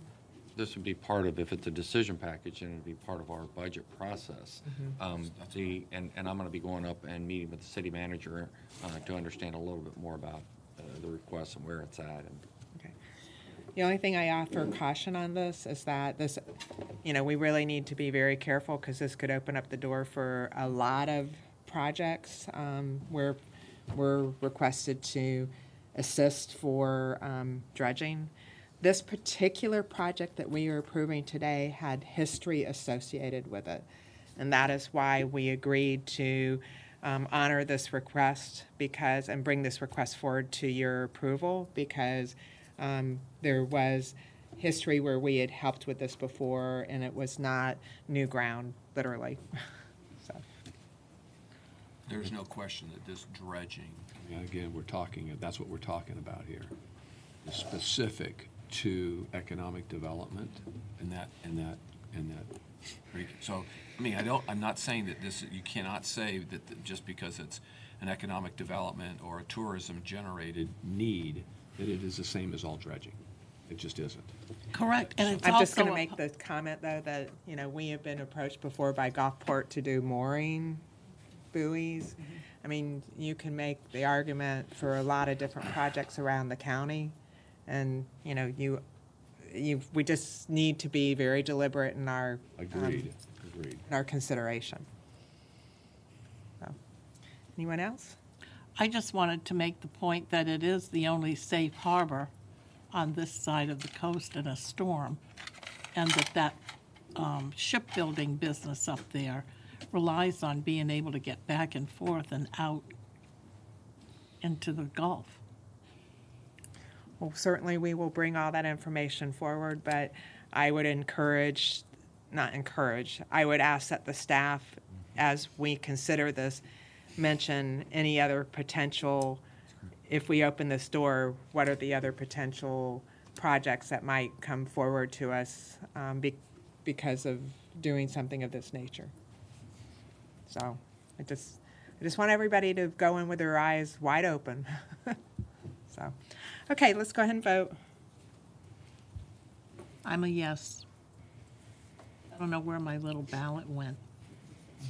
Okay, it's unanimous approval. Uh, Agenda item 34. Item 34 is a joint funding agreement with U.S. um, Geological, Geological Survey. Uh, This is for water uh, data collect, uh, data collection program. So moved. Second. Okay, we have a citizen who would like to be heard on this agenda item. It's David Ballard Geddes. Have three minutes. Hi, good, good morning, Commissioners. David Ballard Geddes Jr. I live on Georgia Avenue in Palm Harbor. Um, Being that reclaimed water, in my mind, is considered a pollution discharge, and that, that we consume the reclaimed water. Um, when reclaimed water is irrigated and the vapors that we smell, um, we're actually consuming reclaimed water. Um, and the highly treated reclaimed water, again, as I've stated in the past, is not sanitized and it's not sterilized. I feel as though we should not uh, spray reclaimed water around in the air, um, nor should we directly inject reclaimed water directly into the aquifer.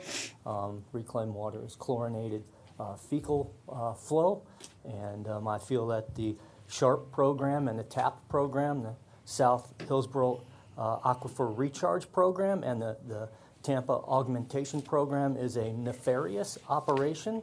Um, furthermore, the Department of Interior needs to know that the reclaimed water variance application, again, clearly states that the applicant literally owes their health and safety, and that reclaimed water is more than noxious. In my mind, this is a dangerous uh, um, proposal, um, and as well as the variance application in statute 15303, section 5 is claimed as a uh, eminent domain of the applicant's property. I feel as a, a uh, um, uh, we, what the county should be doing at this point in time is establishing dry beds throughout the county, splash beds where we can pump reclaimed water, excess storm water, uh, strategically placed um, areas throughout the town where the water can aerobically and naturally filter its way through the ground um, the way God intended it to, to replenish our aquifer. Thank you. Okay, thank you. All right.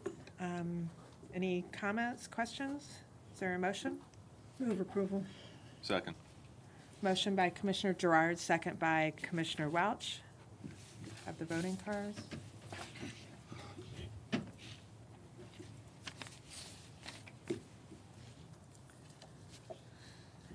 Okay, it passes unanimously with those present. Agenda item 35. Agenda item 35 is a change order number one with KAT Construction for the McKay Creek Reclaimed Water Pump Station Valve Improvement Program. This increases the contract amount by $156,000 and by 60 consecutive calendar days. Move approval. Second. Okay, motion by Commissioner Justice, second by Commissioner Welch. Any questions? All right, well, go ahead and open up the voting cards, please. Um, Passes unanimously by those present. Uh, Agenda item 36, County Administrator Miscellaneous. So I have a few items uh, to talk about today. Uh, The first is that, um, as we've discussed in the past regarding the Lealman community, um, we are elevating a- a key position in this area to really focus on the needs of the the 36,000 residents and the unincorporated Lealman community. In our new role, uh, so Chris Moore's here, if you stand, Chris, he is being elevated to be an assistant to the county administrator. And we're really trying to put some emphasis on um, uh, collaboration and, um, and energy to, into his new role to really bring people together to try to get, make bigger things happen. We're doing a lot, but not necessarily in a coordinated, focused manner to try to get private investment, to try to get energy in the community, manage the $11 million facility that you invested in, uh, to have a go-to person uh, that really can bring the resources of all of county government to bear to make things happen in the Lealman community. So we're very excited that Chris um, uh, took on this challenge in his new role. Um, He will coordinate the CRA programs, local services, and the activities of the community center. And again, I just um, wanted to, to start off by kicking that off and congratulate Chris and thank him for taking on that new role. Congratulations. Okay. Congratulations. We look forward to um, all of the good work that you'll do, and I know that you've already started working in that area. Um, Commissioner Justice has posted a few of the photos and goings-on down in Lealman. Thank you. Should you say something? Yes, if you, thank you, Madam Chair. Just want to thank the administrator for uh, making this a priority. Uh, This is something that several of us have talked about for a lot of years as uh, in Lealman and the unincorporated in general. So, uh, and uh, I think Chris is the right person, and we're looking forward to great things. So I appreciate it. Good. Good luck. Yeah, I- I too wanted to thank the administrator for moving in this direction, because I think there are areas in the Pinellas community, or, or unincorporated area, uh, that do need that help, that- that do need a person to pull uh, groups together to get projects done. And I don't, I don't want to say it's like a city manager, but it's somebody who does work an area that has ultimate kind of responsibility in day-to-day things and reports directly to Barry. And I think that's a, that'll be a, a marked improvement, and I look forward to uh, additional expansion of that thought process. And on that same, on that same uh, note, by creating this position and having the structure in place, we're going to apply that to an additional repurposed position within county government focusing on the north area. That'll be advertised internally. We're going to try to make this a part-time, and we'll, and we'll evaluate it as it goes. So we're using, a lot- utilizing the resources internally first, and then evaluate that to see if it needs, if it needs expansion. Let's not forget Ridgecrest and High Point. We- We've got it covered. Thank you, Commissioner Gerard. Um, the second um, announcement that I'd like to, to um, make is um, it's my pleasure to uh, announce that I'm appointing Gay Lancaster, whom you all know very, very well, um, as the permanent director of the Contractor and Licensing Department. Um, we- she decided she wanted to stick around and this time finish what she started, okay?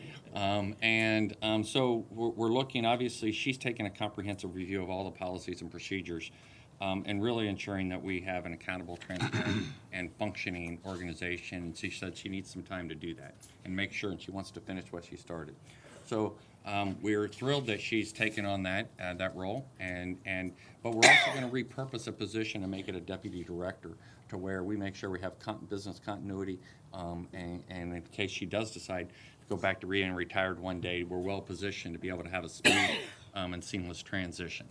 Um, so we're real, real happy Gay's um, taking that on, and, and want to thank her for that. Um, Thank you, Gay. Good. Welcome back.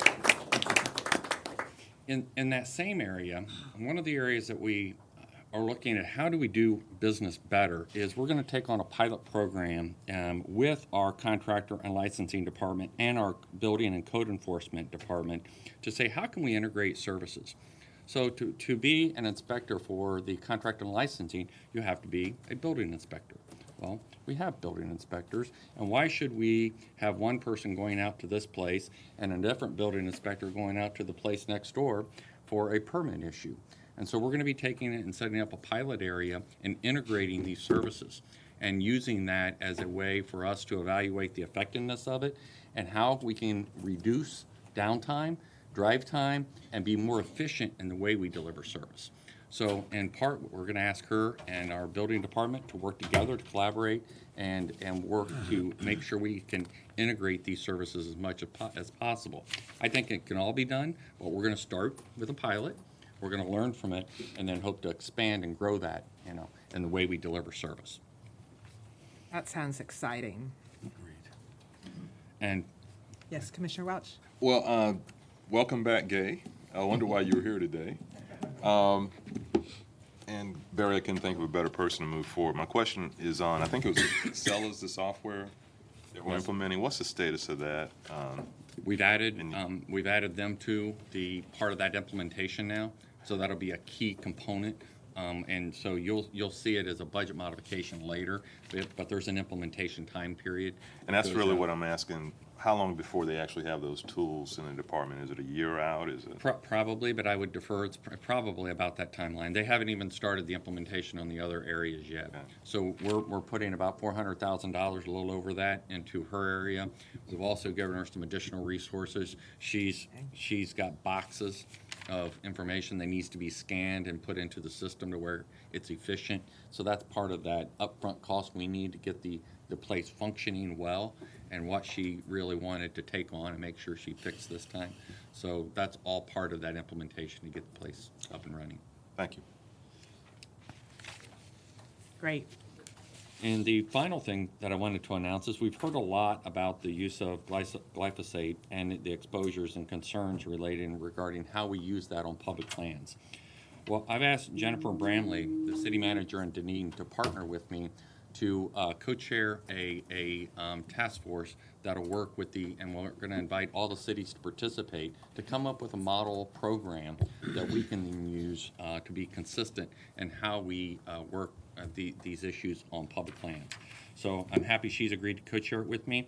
We'll get our staffs involved, or the technical working um, knowledge, and, and come back with kind of a model program that then each community can look at, decide to adopt, um, you know, not adopt. It's, it's certainly their individual choice, but, you know, we've got certain communities that have taken on some pieces, other communities that haven't. Rather than duplicate efforts, we've decided to come together and um, come up with a program together. So I'll be reporting back as that group meets and has ideas and recommendations. That's wonderful. That's exactly the kind of partnerships that we like to see here in the county is to look at this on a broad perspective so that we're um, doing things in a in comprehensive way and the same way if we were able to. I think that, uh, Madam Chair, um, I think there is interest in the county uh, putting something together and putting something forward, and maybe uh, allowing groups to opt out of something. But I, I think there was some real interest from the mayors to do something countywide on this issue, because it, they're so close to each other. All, the, all of our cities and everything, uh, unincorporated areas, so close to each other that it makes total sense to be looking at this, at least together, and then figuring out where we go from there. But uh, I'm glad, uh, glad you got one of the, one of the cities, I think, that really is interested in looking at this. Safety Harbor's looked at this. I'm sure many of the cities have uh, already, so good, good stuff. It also deals with stormwater runoff that takes any, anything that we're applying pesticide-wise or otherwise, and making sure we have the best management practices possible. Commissioner Welch? I, I concur with um, Commissioner Eggers on this. Can you tell us a little bit about the timeline and what the range of outcomes might be? Um, The timeline is I rolled it out at our city managers' um, working uh, luncheon last Friday, um, and, and told them following this meeting, I'd be sending an email out inviting them to participate. So we don't have a date for the first meeting yet. I was going to propose some dates, and then we would get that first meeting going. Um, I think it, it, it's going to be where they want to take it. If, if, uh, there's obviously some people that have already kind of come to um, best management practices. Um, And so we're going to look at those and, and tweak from those uh, where we want to go. And, and I think getting the input of several different people. I don't know if there's going to be a lot of um, um, different ideas in terms of what a model ordinance would be. Um, So, um, but I wouldn't think this is something that would take more than, you know, the summer to complete. Okay, and you're looking at the science of the issue. the science of the issue, the, the practice, uh, you know, I mean, you know, we, we have issues about when you get close to waterways um, versus other land management practices. And so each of those will come in. I'm gonna be learning, you know, more about this as part of this process. And so I think getting the, the, the pe- the folks that have, that have been dealing with this and, and learning from each other will be part of that process. So I don't necessarily have um, a predicted outcome uh, as a result at this point. Well, I didn't want a, a prediction, I'm sorry, I didn't want a prediction, but I'm just, the range, could it be that we're not using that product anymore, or we're using it in a different way? If You're looking at the science and the safety aspects, or any new information is, I, I think it's really the practices. How, how and when do you use certain types of herbicides or pesticides? Um, and, and that's the, uh, that's the part that where, you know, is there distances that are safe? Are there areas where it's, it's, it's, um, um, okay and the science supports that? Or is, in these areas, it's never okay? And those are the types of things that I hope to learn and, and kind of, you know, bring together into some kind of a policy. yeah, from, just from my comfort level, I'd really like to know, you know, what the best science is saying today about that product. And if it's, it's something that's more expensive, if it's shown that it's not safe, that we're gonna move away from it. But if the science says it is safe in these conditions, you know, I just wanna make sure we're looking at the entire spectrum. And, and you're exactly right. There, there's no question that it, the other products are more expensive and, and less effective. The question is, goes back to the health and safety concerns. And in that particular, it doesn't matter what the cost is. And so that's what we hope to learn from our technical Thank you for experts. putting that together. Thank you. And I I s- was going to say somewhat the same thing, just that cost benefit is really important, what the benefit that we're going to gain from this, um, and what it is and what the trade-off is, because there's some direct issues that we may have to forego if we go in a certain direction that we've been working on for so long. And that's fine if we decide to do that, but, so that's, that, I think that's gonna be real important and obviously, the process, and so appreciate, appreciate that, uh, leadership. That concludes my report. Okay.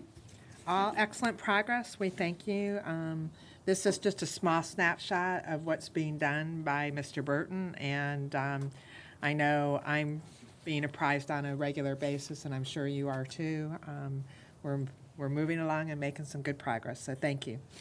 Next is County Attorney, Agenda Item 37. Under item number 37, I recommend the board approve staff's recommendation on the proposed settlement as outlined in the confidential memorandum of today's date. Move approval. Second. Uh, Motion by Commissioner Welch and second by Commissioner uh, Gerard. Voting, thank you. Yes. Okay, unanimous. Thank you. Agenda item 38. Um, Also on 38, I recommend the board approve staff's recommendation on the proposed settlement as outlined in the confidential memorandum of today's date. Move approval. Second. Uh, Motion by Commissioner Gerard, second by uh, Commissioner Welch.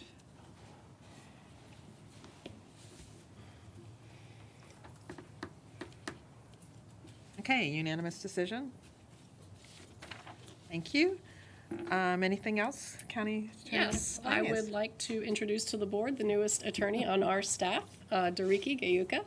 He joined our staff about three weeks ago now. Um, We have him hard at work already. He is working with our Parks Department, Code Enforcement, Human Rights, Office of Human Rights with Paul Valenti, and also with our Purchasing Department, uh, among other duties.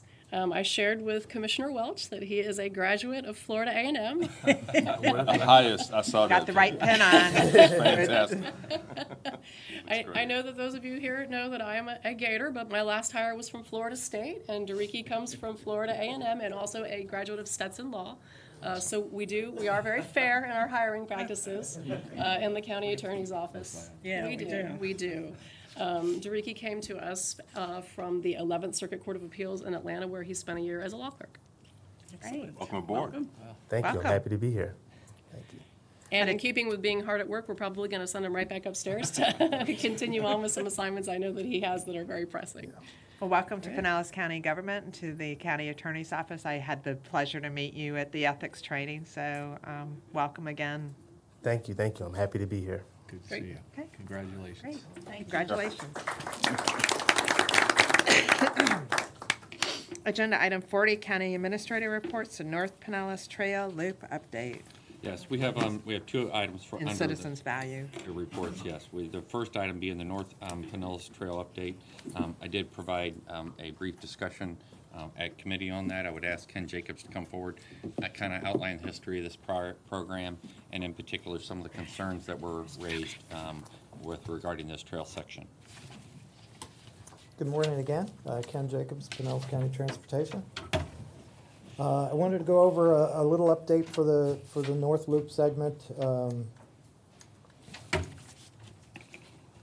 uh, In, in, this uh, obviously started many, many years ago. In, in 1987 is when they did the feasibility study for the trail loop. Um, The trail loop kind of uh, uh, focused on the, the west side along a- an abandoned railroad corridor. Uh, So there, there was really two key things that, that came out of that. One, the loop was meant to be the backbone for the entire county. So other smaller cities uh, and, and municipalities, as they uh, built their own uh, trails internal to their cities, they could hook into that loop, which would give them connectivity throughout the county. Uh, The abandoned uh, railroad corridor, as well as the, the Duke Energy easements, uh, were a focus to keep uh, the separation between uh, the, the vehicles and the pedestrians and bikes as much as possible. Uh, That's not always feasible. Uh, We do have some, some segments of the trail that run along uh, county right-of-way, uh, roadway right-of-way.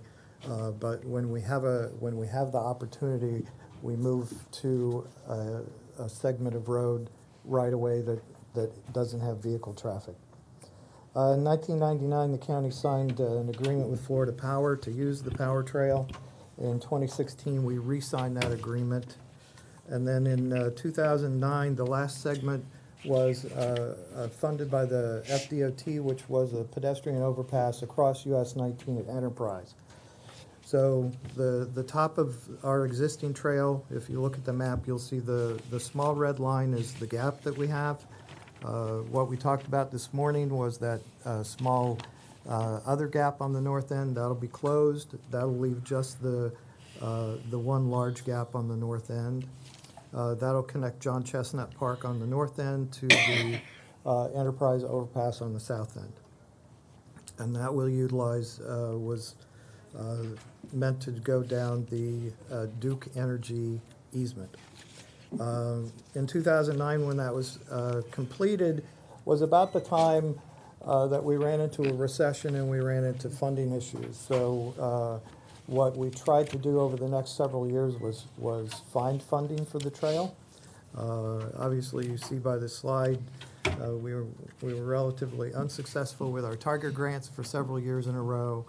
However, in 16, the, D- the state uh, funded what they call the Sun Trail Fund, and we applied for that in 2017 and received a $5.7 million uh, grant allocation from the Sun Trail Program.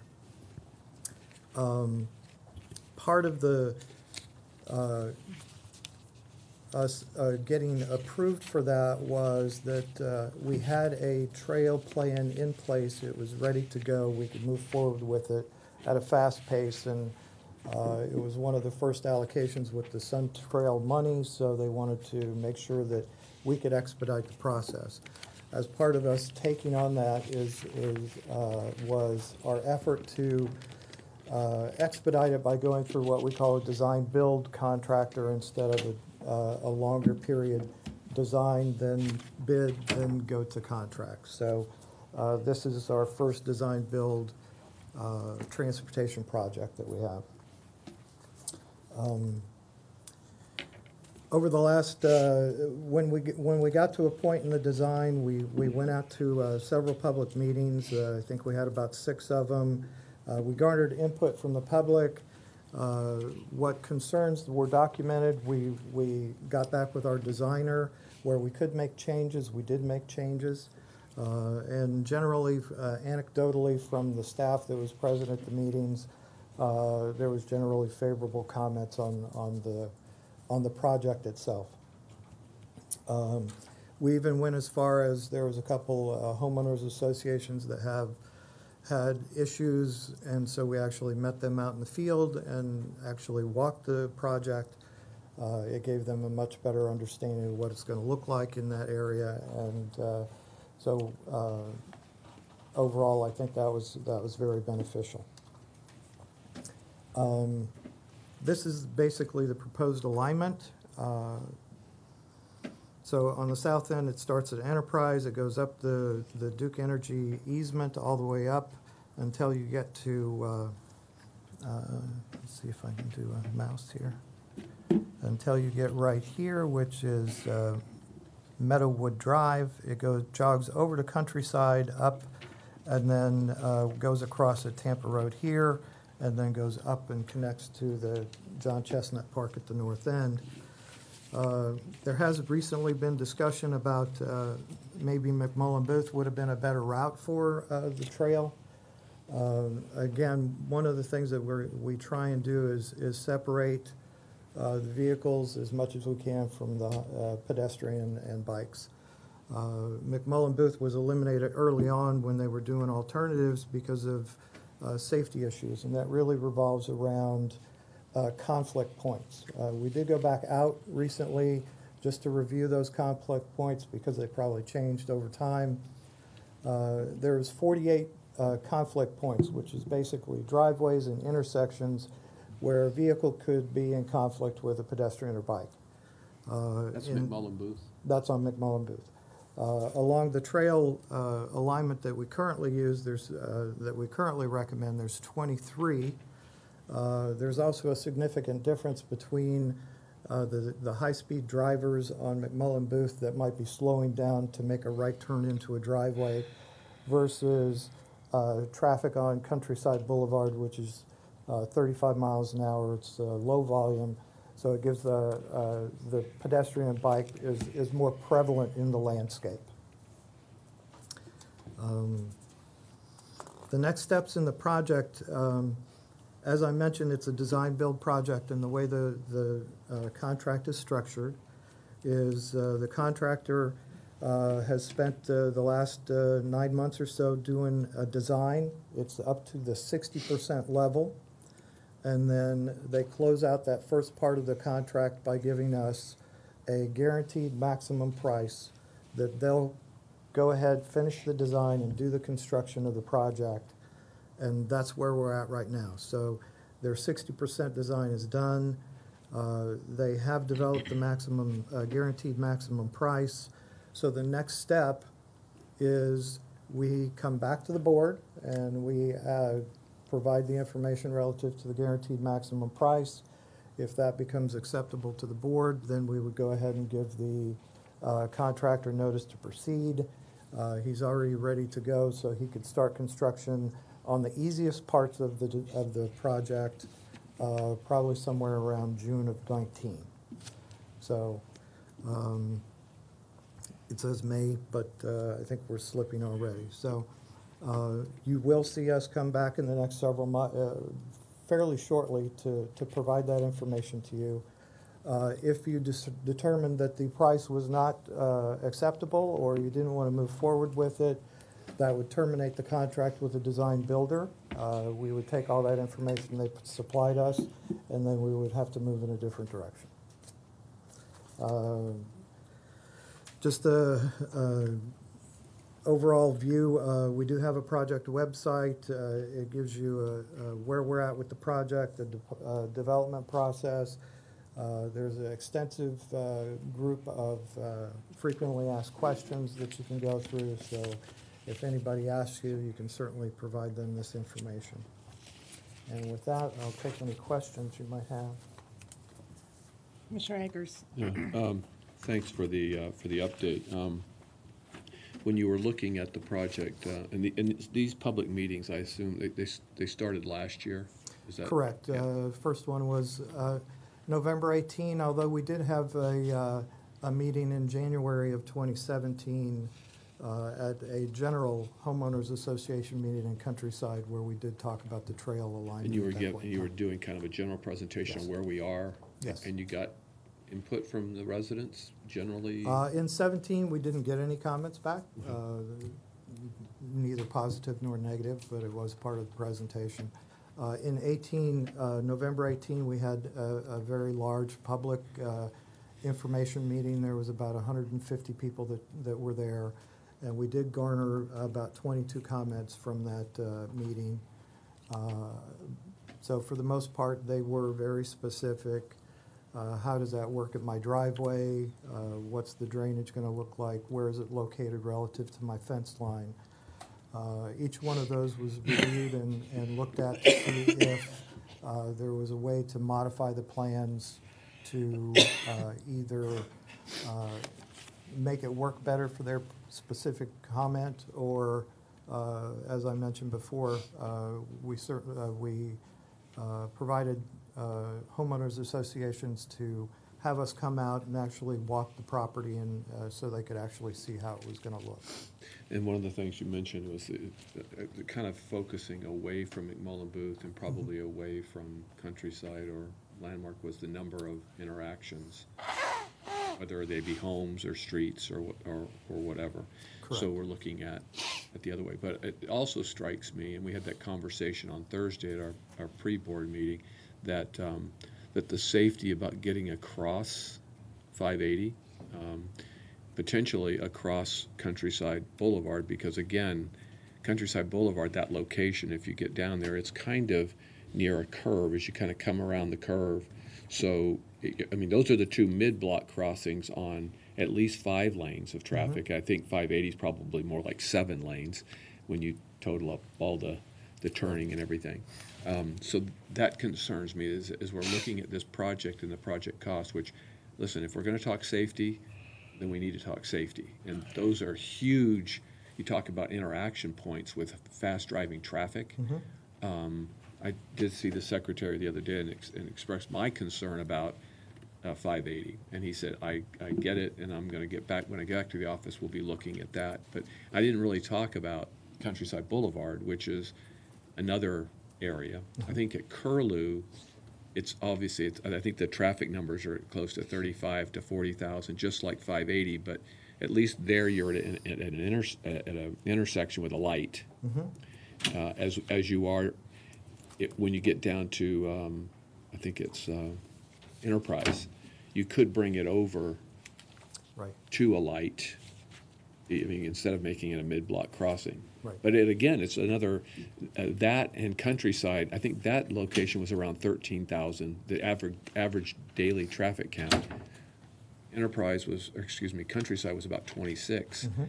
And then you're up to almost forty thousand at, at five eighty in Curlew. So they're a little bit different situations, but I- I just, you know, you talk about interaction with, with folks at high traffic speeds and then getting people across 580. So to me, that project is not designed complete unless we look at those critical safety factors, uh, safety interactions. So, um, and I know it's cost, it's big money to get across 580, and then you're gonna bring them down, and if you had to get them across countryside, that's another uh, big cost. So those things to me are critically important, and, and every bit as important as the, the, the, the concerns you have about going down McMullen Booth. And I'm not saying I'm one, you know, for that. I'm just saying those things have to be taken care of, in my opinion. So, Absolutely. Uh, We, we understand that. The, the primary goal, based on the amount of money that we had available to us, was, was to finish the loop.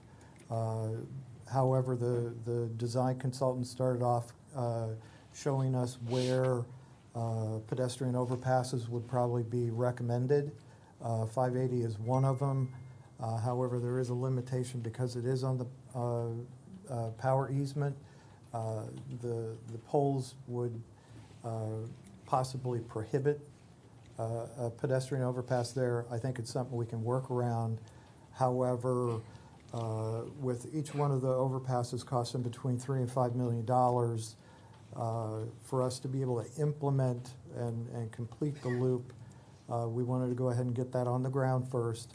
Uh, We certainly know and understand that there's several locations, uh, including existing locations, where pedestrian overpasses are critical. Uh, State Road 60 and, and, and Coachman is, is a good example. It's been there forever. Uh, Relative to 580, uh, the recommendation is for a full mid-block pedestrian signal there. So it will have uh, as, as much uh, safety as, as the signal does provide. Um, Countryside will also have a signal. And, uh, uh, and then Curlew already has the signal, and then Tampa Road, we're crossing at the signal. countryside will, I didn't hear that, I'm sorry. Countryside will have a signal uh, crossing Countryside. Mid-block crossing. Uh, It actually is at a minor intersection across from one of the driveways. so. Not a light. It will have a traffic. It will have a light, okay, that light. you'll be in, but no, okay, and then, um, but just, just for that, for, I, I understand what you're saying. Um, we built the, the one over nineteen. Mhm. There was nothing on either side of it, so we built that first. Right. To make sure that when we did do the rest of it, that we had that all taken care of. Absolutely. Instead of doing it the other way and saying, okay, now take a, take a chance and cross nineteen. Mm-hmm. So I know these are not quite as dramatic as nineteen, but, uh, to me, they're, uh, five eighty is, uh, very, very yes. scary. so. Internally, one of the things that we've been talking about is, is going over all the crossings that we do have left that are at grade that we believe uh, are potentials for uh, pedestrian overpasses and prioritizing those so we can work with the FDOT uh, and the board uh, to come up with a, a plan moving forward to uh, uh, install those where we, where we find them to be And- and- and- yeah, The last comment I would make is just that uh, whenever we do implement something like this, I Mhm. think we're trying, we're in effect giving some assurances to our residents that we think it's safe. And I, I think that needs to be something in the back of our mind, the front of our mind completely when we finish this, that we truly in our hearts think that uh, if we had a, a- a grandparent that was in a wheelchair that wanted to get across, or, you know, that kind of thing, that we actually can put that stamp of safety Mm-hmm. approval on it. So, um, anyway, that's all I have for now. Thank you. Any other, we have some citizens who wish to be heard. Thank you, Ken. Stay um, close by, please. Um, First is Jerry um, Krantz.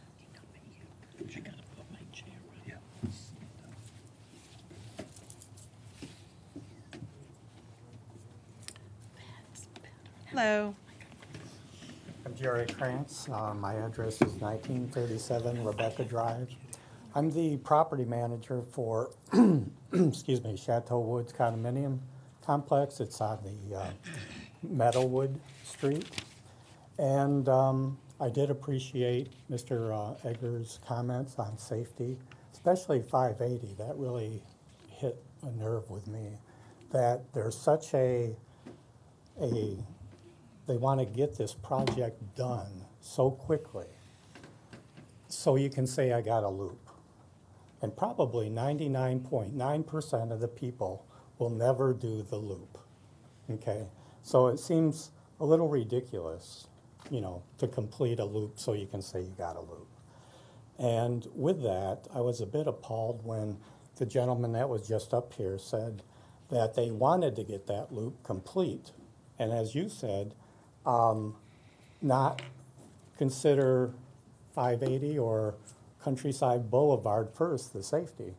And I'll say this just quickly that uh, last Saturday I was on um, down in Dunedin uh, where the trail is.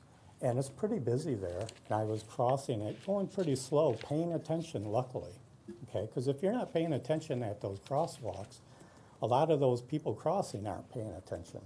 And so I'm coming up to it, and here comes some bicycles. They didn't bother to stop to push the button. They went right in front of me. I had to hit the brakes. Luckily, I was paying attention, so it wasn't a big deal. But that just goes to show you the dangers, especially 580. They can be doing 40, 50, 60 miles an hour. And if they're not paying attention or the people crossing aren't paying attention, it definitely needs a crosswalk. Now, the other thing, because I only got a minute, is for years we were told that um, the, the Duke Energy um, line would be used. Okay? And we've always known that. We've known it was put off. Um, then all of a sudden in November of last year, we were told that no, it's going to go down Meadowwood as a shock to everybody in the neighborhood and adjoining neighborhoods. And, you know, we're the ones that had to ask for these meetings, okay, um, and get these done. And they listened, but we could tell that they were just on a mission to get this loop done. You know, they said that they would need to acquire land. Fine. They've never made an attempt to do that. They just said, oh, we'll make this turn, go down Countryside Boulevard so we can get our loop done. No, they should look into acquiring the land, and that would be much safer going up that, that corridor uh, where the, where the lines are. Thank you very much. Uh, Next is Bruce Rumble.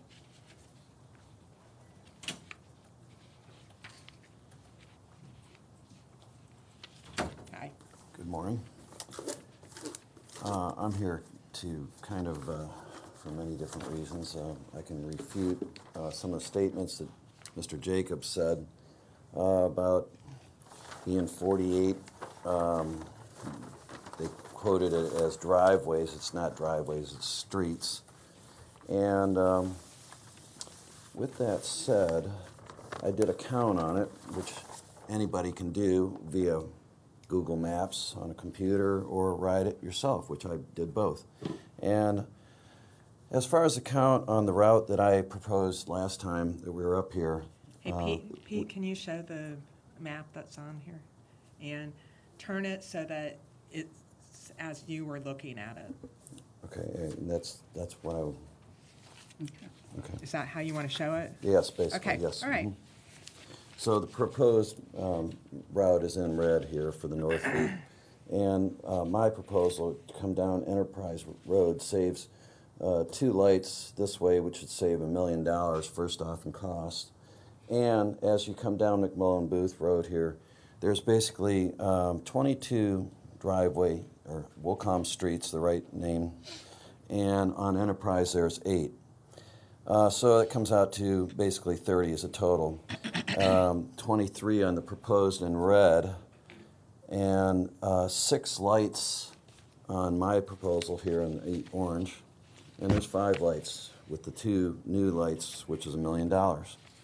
So um, part of my statement, uh, you're worried about traffic on McMullen Booth Road and interaction with people, traffic. Well, if you're worried about that, why do we have a trail alongside um, north of John Chesnut Park that goes right alongside East Lake Road, McMullen Booth, East Lake Road, same thing. Um, and up there after uh, John Chestnut, uh, there's 19 driveways and two lights. And the, and the speed limit up there is 50 mile an hour. Speed limit on McMullen Booth is 45 mile an hour, and uh, Enterprise 35. So, you know, i I'm just saying we have to use some common sense here and some correct figures. It, and I am worried about safety first and foremost, just like you all are too. And I'm also concerned about when you run down the uh, Duke Energy Trail, you are underneath power lines that are emitting EMFs. Um, like I've said before to y'all, that I, I, truly believe that that is an issue that's going to become uh, more worldwide known as time goes on. Just like, like I said before, with the big tobacco said, "Oh well, shoot, smoking's okay. This doesn't cause cancer. EMS don't cause cancer, right?" And they're finding out that it does. So that's where I'm going with this, and uh, I just hope that y'all will use some common sense and understand that, you know, not all these figures and facts that you're getting are totally correct. Okay, thank you. Thank you. Next is Scott Bressler, and um, Ruth Strum has yielded her time to Scott. Um, So Scott, you'll have six minutes total. Thank you. Good morning to everyone. Morning. First of all, I'd like to thank Commissioner Eggers for meeting with me a few weeks back, a couple weeks back for 45 minutes, and Mr. Burton's email. Um, really appreciate the time they took in, in doing so. Um, we're all here, quite frankly, because we feel safety is a major concern, as you do. Um, we're also concerned about getting the most for the taxpayer dollar, penny for Pinellas, wherever the money's coming from. We want to maximize that but also have a safe route that's effective in all areas possible. Um, there were several areas in Mr. Burton's uh, email that I wanted to bring up. Um, one of which he addressed some of the meetings in the past year and a half or so. Um, to the best of my recollection, the, the board had already approved the project, and those meetings were basically to announce what had been approved. How about having meetings and announcements to citizens and homeowners in the area before and getting their input and suggestions. How about also getting the suggestions and input from law enforcement? I've never heard any mention that that was involved. Um, because law enforcement, let's face it, when it comes to, and I shouldn't say just law enforcement, but also first responders in any way, um, are going to be involved. They're, it's an additional uh, aspect to their job and their response uh, responsibilities when this is completed, wherever it's going to be completed. And we have to think about that, I would think. Um, the uh, one thing I want to mention is the statistics in Mr. Burton's email, and I know this has been a common theme, is that it will increase property values. I keep hearing that on paper, but I don't see anything on paper. I don't see any statistics provided. I don't see any hardcore evidence whatsoever. Uh, so I, again, I have to question that. Um, I can see for commercial properties, if you own a, a donut shop or a coffee shop or something like that, yes, the added traffic would help your business. But for a homeowner, I don't see it. Uh, a home, a prospective home buyer is going to look at two homes. They're going to see that going on in their backyard versus a home that is of equal size and value and whatnot that does not have that. Of course, more likely they're going to choose the the house that does not have that. Um, I talked to Clearwater Police Department representatives, Pinellas County Sheriff's Department representatives, Tarpon Springs Police Department representatives, and I'm not saying I spoke to hundreds, but the few that I did speak with said that there was additional calls and suspicions and activity and even incidents along the trail. Um, I was even told that there was a police officer shot and killed. I don't know if they were, you know, again, terrible, terrible incident if that took place in the South Clearwater Bell area, Belleair area. Excuse me. I don't know whether they, if it was fatal or not. It really doesn't. It does matter, but we're talking about criminal activity. Period. And anything to do misdemeanor, felony, I would think it would all be of equal concern. Um, again, if that took place, I, my thoughts and prayers go out to that family, but it's a, it's another aspect to please think about this before you go forward. This is gonna be a decision that impacts generations to come in this county. And I know on paper it looks good, there's an empty grassy area underneath the power lines, let's use it. Just like in sports, you hear announcers say, on paper, they should win the championship this year. They've got all the stars. On paper, this sounds like a slam dunk just like the prior uh, individ- gentleman that was up here talking. It sounds like a slam dunk. Make a path on a grassy area, you're done. There's a lot more to this safety concerns, criminal activity, first responders trying to get to these areas that are behind homes and hard to get to in certain areas.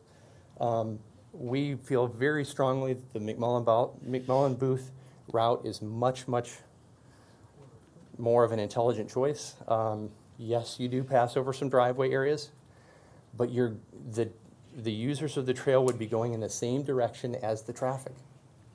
And yes, the traffic does have to yield just like they would if it was going, if the crossing was going across 580 or Countryside Boulevard or Curlew. Either way, you, you're relying on the responsibility of drivers. And with, I'd rather go along with the traffic the same direction than try to cross it. So that, that's my point. Crossing traffic is a lot different than going the same direction as traffic. More and more today, we see texting, I hate to say it, but drivers that are texting and trying, always in a hurry, trying to accomplish things as they're driving, which is the wrong thing to do. But we know we can't be foolproof in knowing that it's not going to happen. It's going to happen. And we don't want somebody to die. Again, please keep in mind, you're going, the proposed route is not, it's crossing traffic in many areas. The McMullen, Bo- McMullen Booth route would be going in the same direction. You've also got uh, Mease Countryside Hospital. Hospital services right there that would be right by the trail if it went down McMullen Booth. You've got the Clearwater Police substation there, right by Countryside High School. You've got the ability for law enforcement to be right by the trail if something happened. Um, another big thing that I'm huge on that I'd like to point out, it's very easy to forget this fact, but um, if the Duke Energy power lines are used, you're behind homes and you're not in public view at all. Along McMullen Booth, you would be in plain sight just as it already exists in East Lake. I don't hear about any problems. A wide, beautiful trail right off the road. I don't see any safety issues.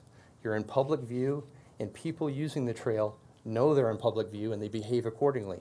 When you're behind homes and you know you're not in public view, who knows how you're going to behave? You've got all walks of life. You've got the priests and nuns using the trail. You've got the people that just got out of prison. You don't know what walk of life is going to be using the trail. When you're behind homes, we're relying on their on their uh, good behavior. And I'd rather not rely on their behavior. I'd rather have them in public view. My choice. I hope, hopefully you agree.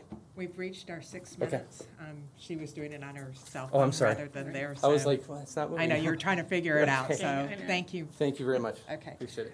Um, That's all the cards that I have on this agenda item. Is there any further discussion? Comment.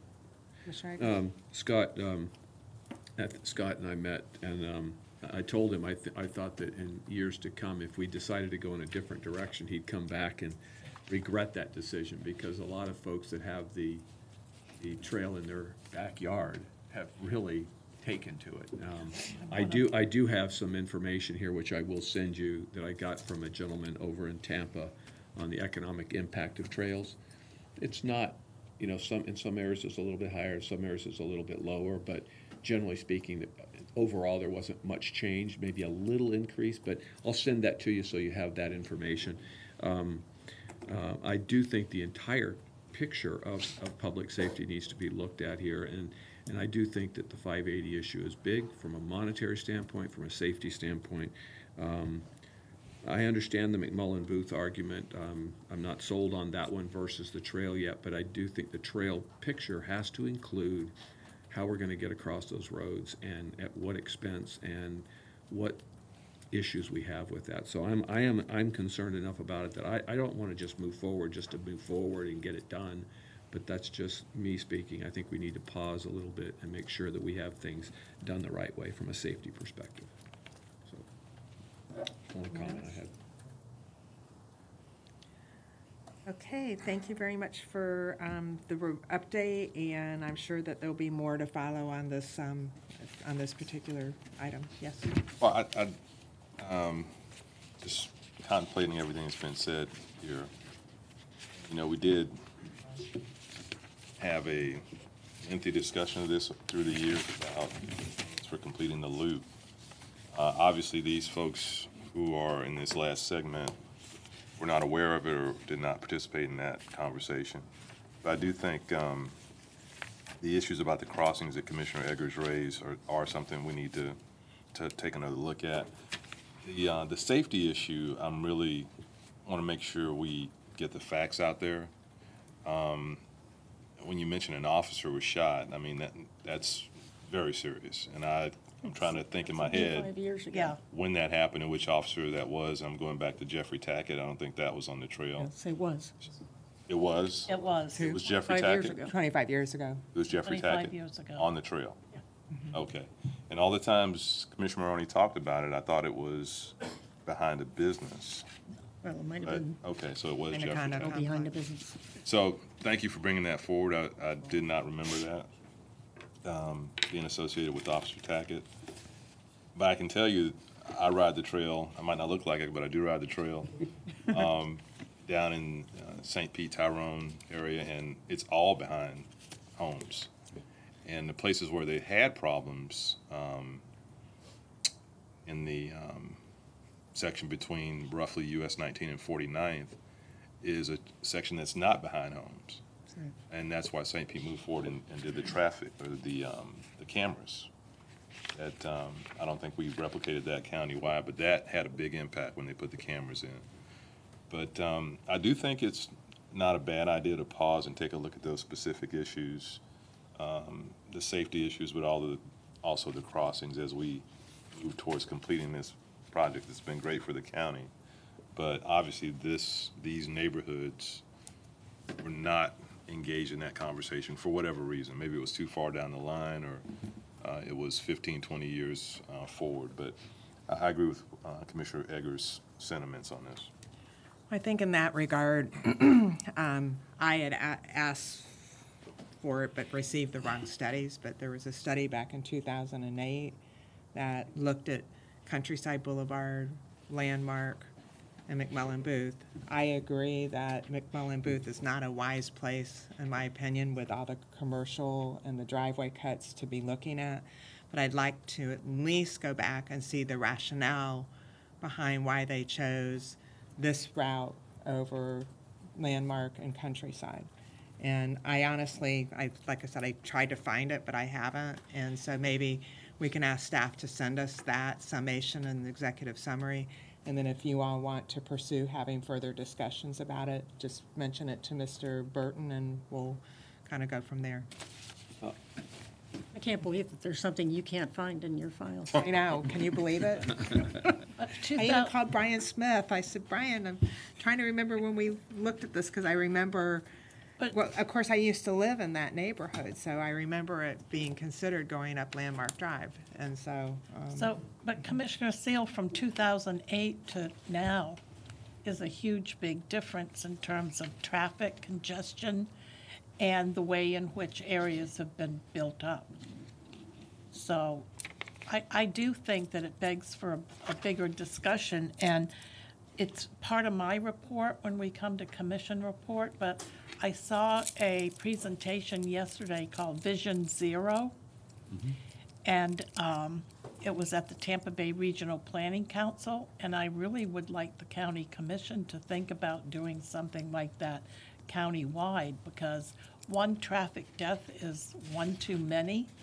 And this new program that they have over in Hillsborough County is reducing accidents and those kind of things exponentially.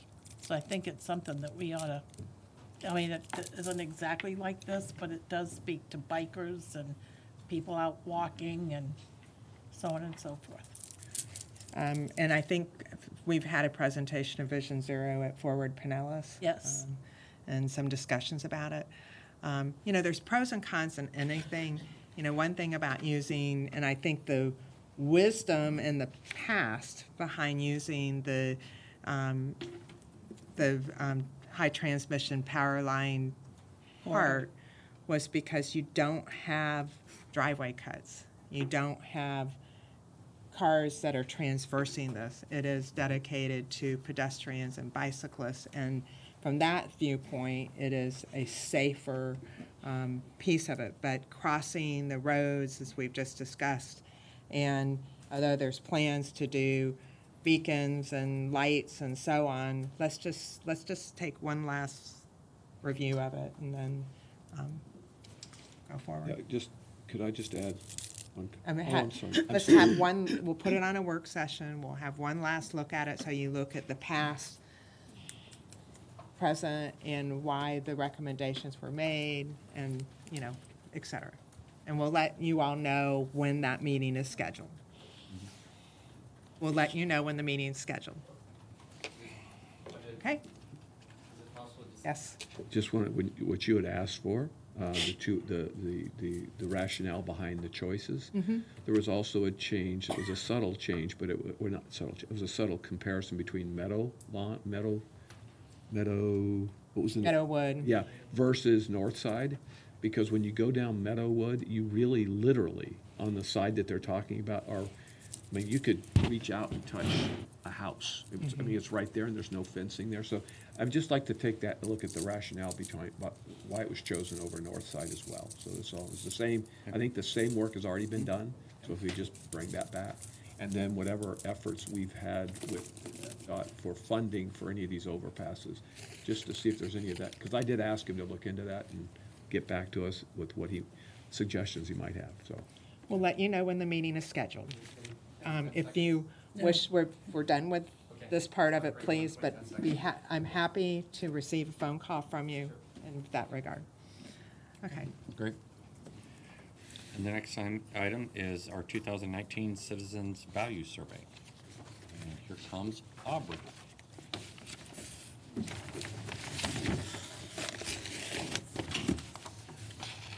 Good morning, Commissioners. Aubrey Phillips with the Office of Management and Budget.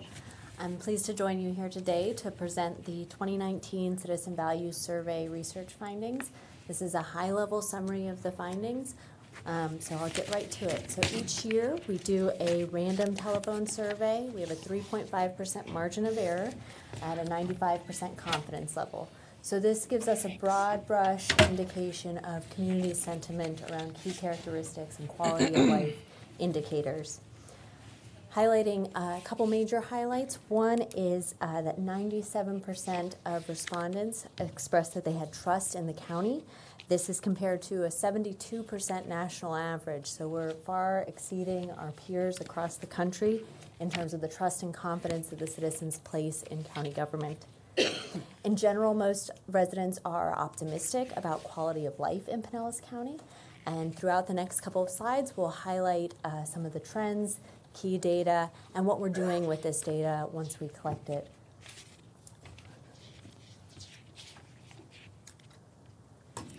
So, nine in 10 residents uh, responded that they would recommend Pinellas County as a place to live, work, raise children, and retire. Uh, those ratings for live and retire have remained consistent over the last couple years, but we've seen improvements in citizen ratings of Pinellas County as a place to work and raise children. So, digging into some of the quality of life data, uh, 69% of residents are positive, feeling positive about their current quality of life. 79% are positive about their future quality of life. But we want to dig in and understand um, those minority of residents who are feeling pessimistic about their current and future quality of life. So, for those who were not optimistic about current and future quality of life, perceptions of traffic and crime, as well as overcrowding and homelessness, um, topped the list in terms of what the concerns were that they were citing as the reasons for their quality of life ratings. Um, looking at data on crime rates in particular, uh, we've not found a correlation between uh, the declines in this area and the, the perceptions that citizens have and actual crime rates. They're, those are trending down. Um, our best uh, estimate based on the data available is that much of that is driven by media coverage of crime. So even if crime rates are declining, if folks are seeing it on the news at home every night, it's going to affect their perceptions of an experience of crime in the community. This was the second year that we asked citizens about how sea level rise impacts their quality of life ratings. And we saw a significant increase from nearly four, uh, about 4 in 10 residents uh, last year to this year, 7 in 10 residents were stating that sea level rise concerns them a great deal or to a certain extent. Um, so that's a significant increase. Again, we're anticipating, we expect that that's primarily caused by increasing media coverage, conversations within the community around sea level rise.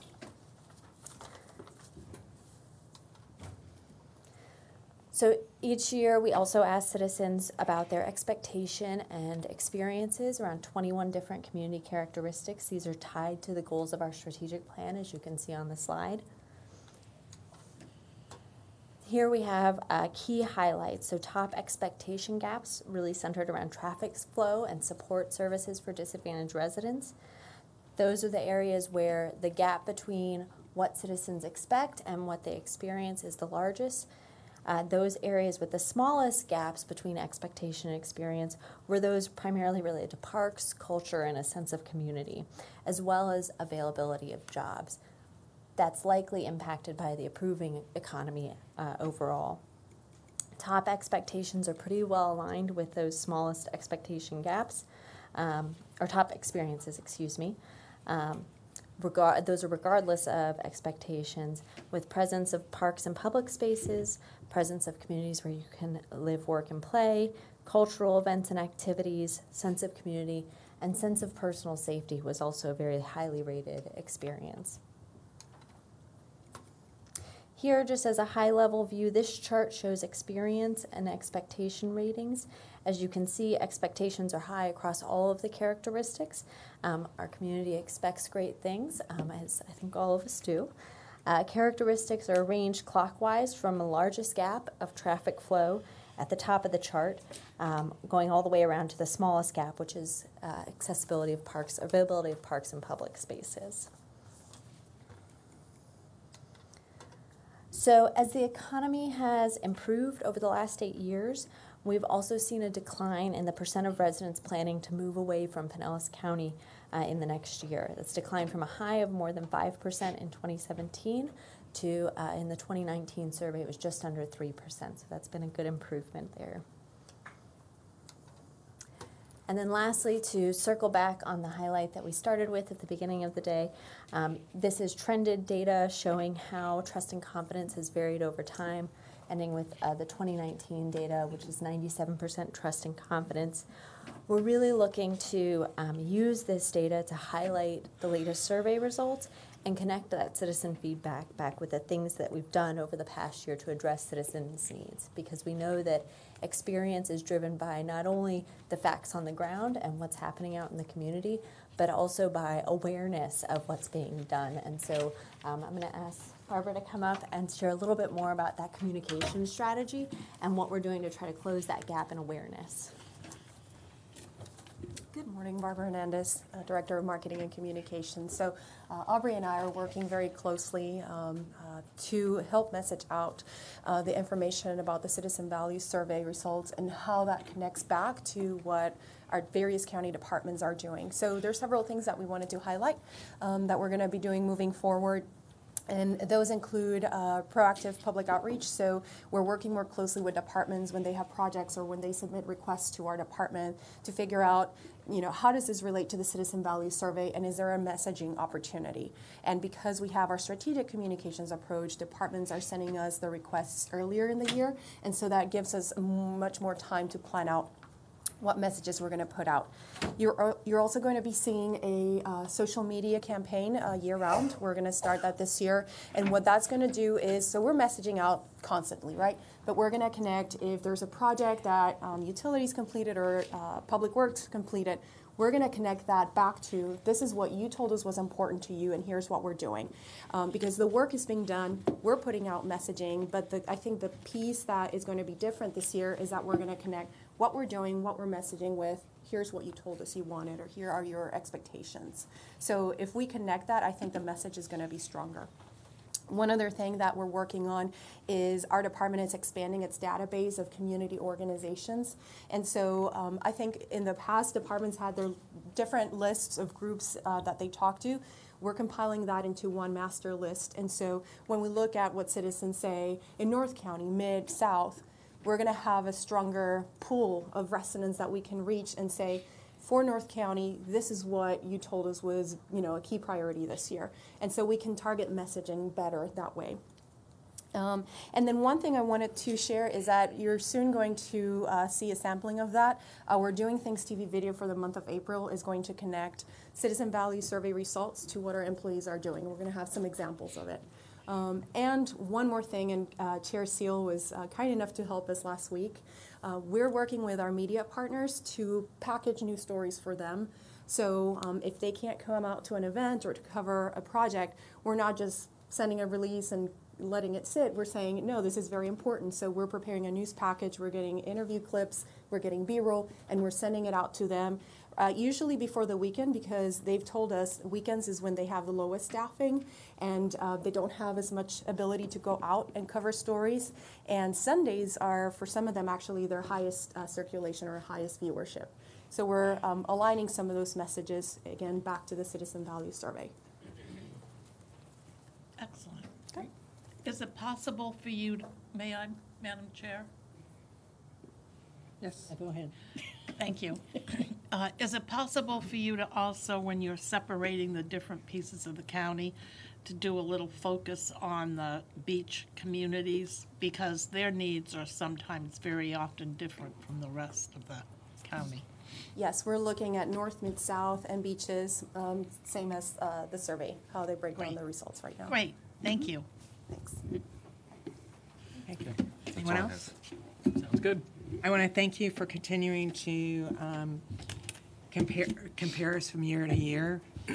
I think by having um, good questions and the same questions year after year helps us to gauge where we have opportunities, where we have challenges, where we um, can do better. And so we thank you and um, everyone for all the hard work and the education outreach as well. Yeah, thank you. Okay. All right, we are now at citizens to be heard and uh, public comment. We'll start with Stacy Tatum, who is a St. Petersburg College student.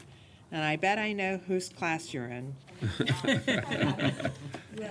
Does it start with a K, Dr. K? Good morning. Good morning. Um, Morning. I'm a St. Petersburg College student, but I'm also a Pinellas County resident. I've lived here my entire life. Largo, Clearwater, Seminole. Um, right now, I live in an unincorporated area in Seminole. And for my project um, to graduate with a bachelor's degree, I decided to get uh, try to get streetlights installed in my neighborhood. So um, that's been fun. I've met with Jim Cannon uh, from the Public Works Department, and I got to meet a lot of my neighbors that I didn't know. They started asking me, could I get speed bumps and um, other stuff, and I'm like, oh my gosh, I'm just doing a project. So um, I just came to say thank you for having the streetlight district in place for citizens who live in unincorporated areas so that we can advocate for ourselves. And if I, uh, they get installed, I guess I'll see you guys again here if it's approved. So, you know, you guys would approve it, but, and that's all I wanted to say, and I'm gonna go have lunch. And I hope y'all have a nice day. Well, Thank you, and tell Dr. Constantinople we said hello. I will. Thank you again. Can I ask her a Thank you very much Yes. for being here. Commissioner Welch, Before wait a you run second. off, so you've been there all morning, so I know, I was cold, I was hungry, I went through a lot of Freezing emotions. in here. thank you for being here. And You're um, welcome. thank you for advocating for your neighborhood. So how did you find the street lighting process? Okay, so I contacted um, the Public Works Department, which is funny because he goes, he's in the same class as me. And he Okay. told me that's who I needed to contact. I don't know how he knew that, but he did. So um, I contacted them, and they, um, I met with Jim Cannon, someone else named Tyler, and they were really, really helpful. I mean, he sent me a map of my neighborhood and how many houses I would have to get a signature from Okay. for it to get approved. So, yeah, that was And so really the, good. the lights are on the way? You- Well, you- no, I only got nine signatures Okay. uh, so far. So Still you know, I working probably on need to loop around again. Or, Okay. But How yeah. many signatures do you have to get? Thirty-two. Yep, thirty-two. So All right. Good luck. yeah, it's cool. Thank you. Thanks for your work. Thank you, guys. Y'all have a good day. You too. Thank you Bye-bye. again. Um, Connor La- Laporta? I'm sorry. Did I get that right? Good morning to the commission, and uh, my name is Connor Laporta. Um, I live on 8001 Sailboat Key Boulevard South. I've lived in Pinellas County my entire life. Um, went to school here, went to Seminole Elementary, Osceola Middle School, and then Seminole High School, and now in my final year at SPC. Um, I wanted to first thank Commissioner Justice for meeting with me briefly on this issue. Uh, really appreciate you being uh, gracious with your time. And uh, I wanted to thank the county as well for their continued hard work in making this county a better place to live and also your continued support for SPC. Many of you um, come to our campus on a frequent basis. Um, so, so the, the issue that I'm speaking on today is an animal abuse registry system. Um, as part of our capstone project, we were tasked with finding an issue that we care greatly about. Um, two major areas of interest in my life are the study of law and animal welfare issues. So I wanted to really find an area, an issue that those two issues intersected. Um, Hillsborough County in 2016 implemented the first animal abuser registry, um, and the registry functions similarly to uh, a sexual offender list. Uh, the registry requires people who have been convicted of animal cruelty to be placed on a list that prohibits them from purchasing, adopting, or possessing animals uh, for a certain time frame following a conviction of an animal cruelty offense. Um, and there have been many studies done by uh, the FBI, the DOJ, as well as the uh, Animal Legal Defense Fund showing the correlation between animal cruelty and other violent offenses. Um, there was a study done that showed that in homes where animal cruelty had occurred, 88% of these same homes had experienced other forms of violence, such as domestic violence, assault, um, and even in extreme cases, murder. Um, Jeffrey Dahmer is a uh, extreme example, but I think it's illustrative to the correlation that animal cruelty has to other violent offenses. So um, I really implore the county to look at this as a public safety issue, um, more as just an animal rights issue. Um, we have common sense policies already in place uh, regarding child abuse, elder abuse. We've, as a society, determined that it's important to have a barrier between the abusers and those that are abused. Um, and I don't really think that it should be any different with animals. Um, I, I would really implore the county to maybe take under consideration uh, to do some sort of feasibility study. Um, I'd be happy to share any of the experts. I interviewed the county attorney in Hillsborough County, as well as I spoke with Jay McGill's office um, about enforcement aspects of, of such an ordinance if it were to go into effect.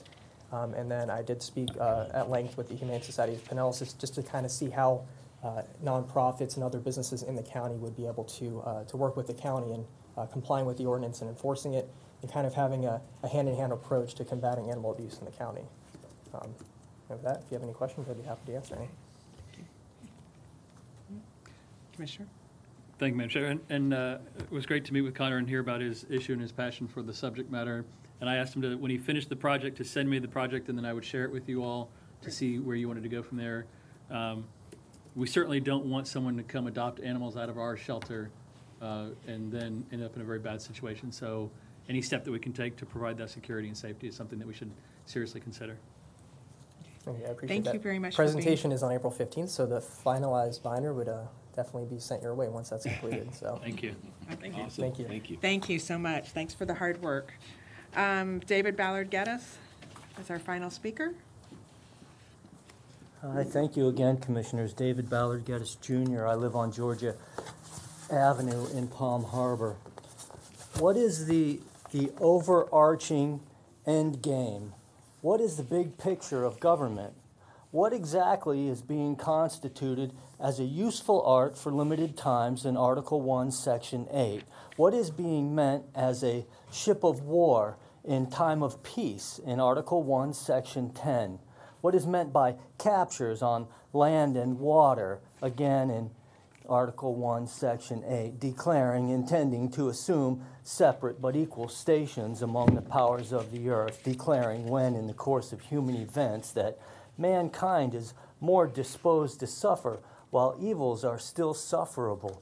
What is meant by George Washington in his farewell address when he states to indirectly undermine that which cannot be directly overthrown, to employ artifices to weaken, to agitate, to mislead, to enfeeble, to cause umbrage, to deeply penetrate using covert, insidious, pernicious, and sinister motives. Washington further stating that we are being given a useful lesson on our heads, useful arts, declaring to complete perfidy and works of death, declaring destruction of all ages and conditions, declaring to eat us out of our subsistence, deaf to the voice of justice, free to levy war as written in the Declaration of Independence, uniformly bankrupting, capturing the water supply as a constitutional objective in Article 1, Section 8, birthing water jurisdictions claimed as bounty, claimed as process due in the 14th Amendment thereof, taking liberty, property, and life,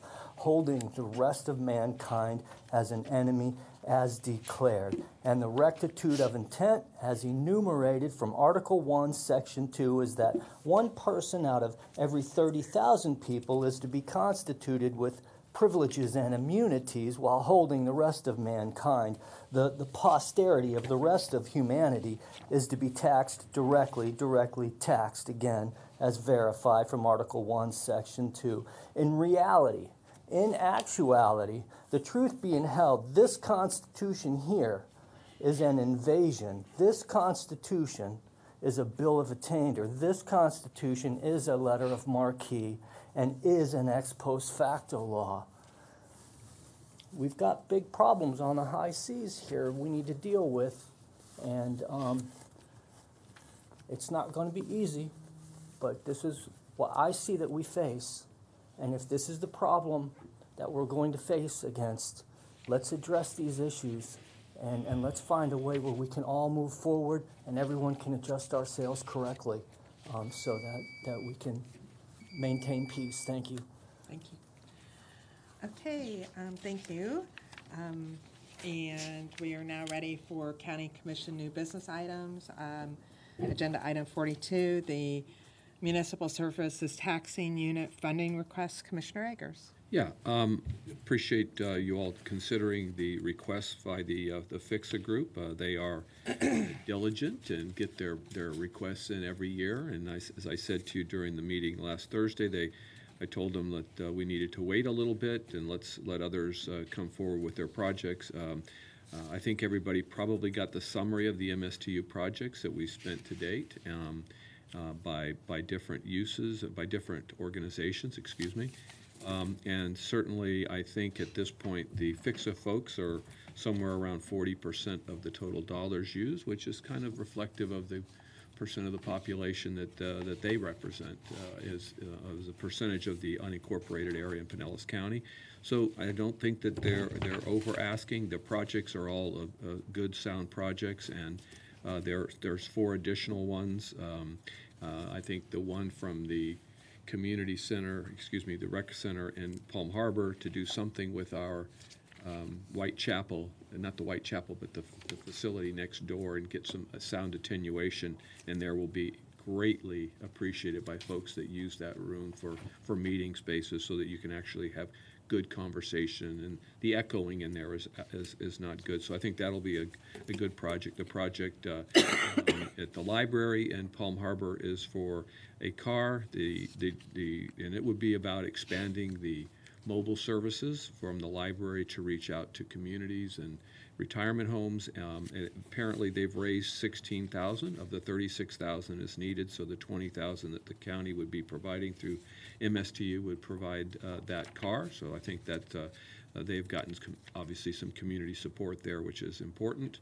Um, and over in East Lake, uh, some additional um, uh, facilities, uh, stands in the East Lake Recreation Area, stands and facilities so that folks can see games, participate, or watch games in some comfort. There's just no shade up there at all. I think that's a good use of, of the funds as well. Uh, And then the finishing off the improvements down at the library in Eastlake, where they've just spent a lot of funds here from, from the county, from the state to, to do the expansion. And when you go through there, you can definitely see the front area that it just is so old in, from the carpeting perspective that this is, this will be a needed uh, addition, and it would blend in with the new construction that's gone on there. So I think there's four good projects, and with these, uh, with these um, approximately twenty thousand dollars per project, and our percentage of the total, ours being FIXA, uh, would uh, rise above fifty percent, but we have a whole six months to go and many more projects to consider. Um, As you can see, we've spent about four hundred and forty-four thousand. There's still, uh, am I right in reading that there's three hundred and eighty-six thousand, Barry, un, uh, still uh, uncommitted but budgeted? I believe so, I'd have to Okay. check the report, but it's. Anyway, it's on this sheet that you got, if there's any questions. Did you get this? Is it part of the agenda package in our legislate? 'Cause I don't see it. can't, I don't I think think so. received it separately. I think. I Separate think this email? was sent separately. Separately. Okay. So, anyway, I would move approval of those four projects. Second? Okay, um, there's been a motion by Commissioner Egger, second by Commissioner Justice, um, to fund these, uh, requests.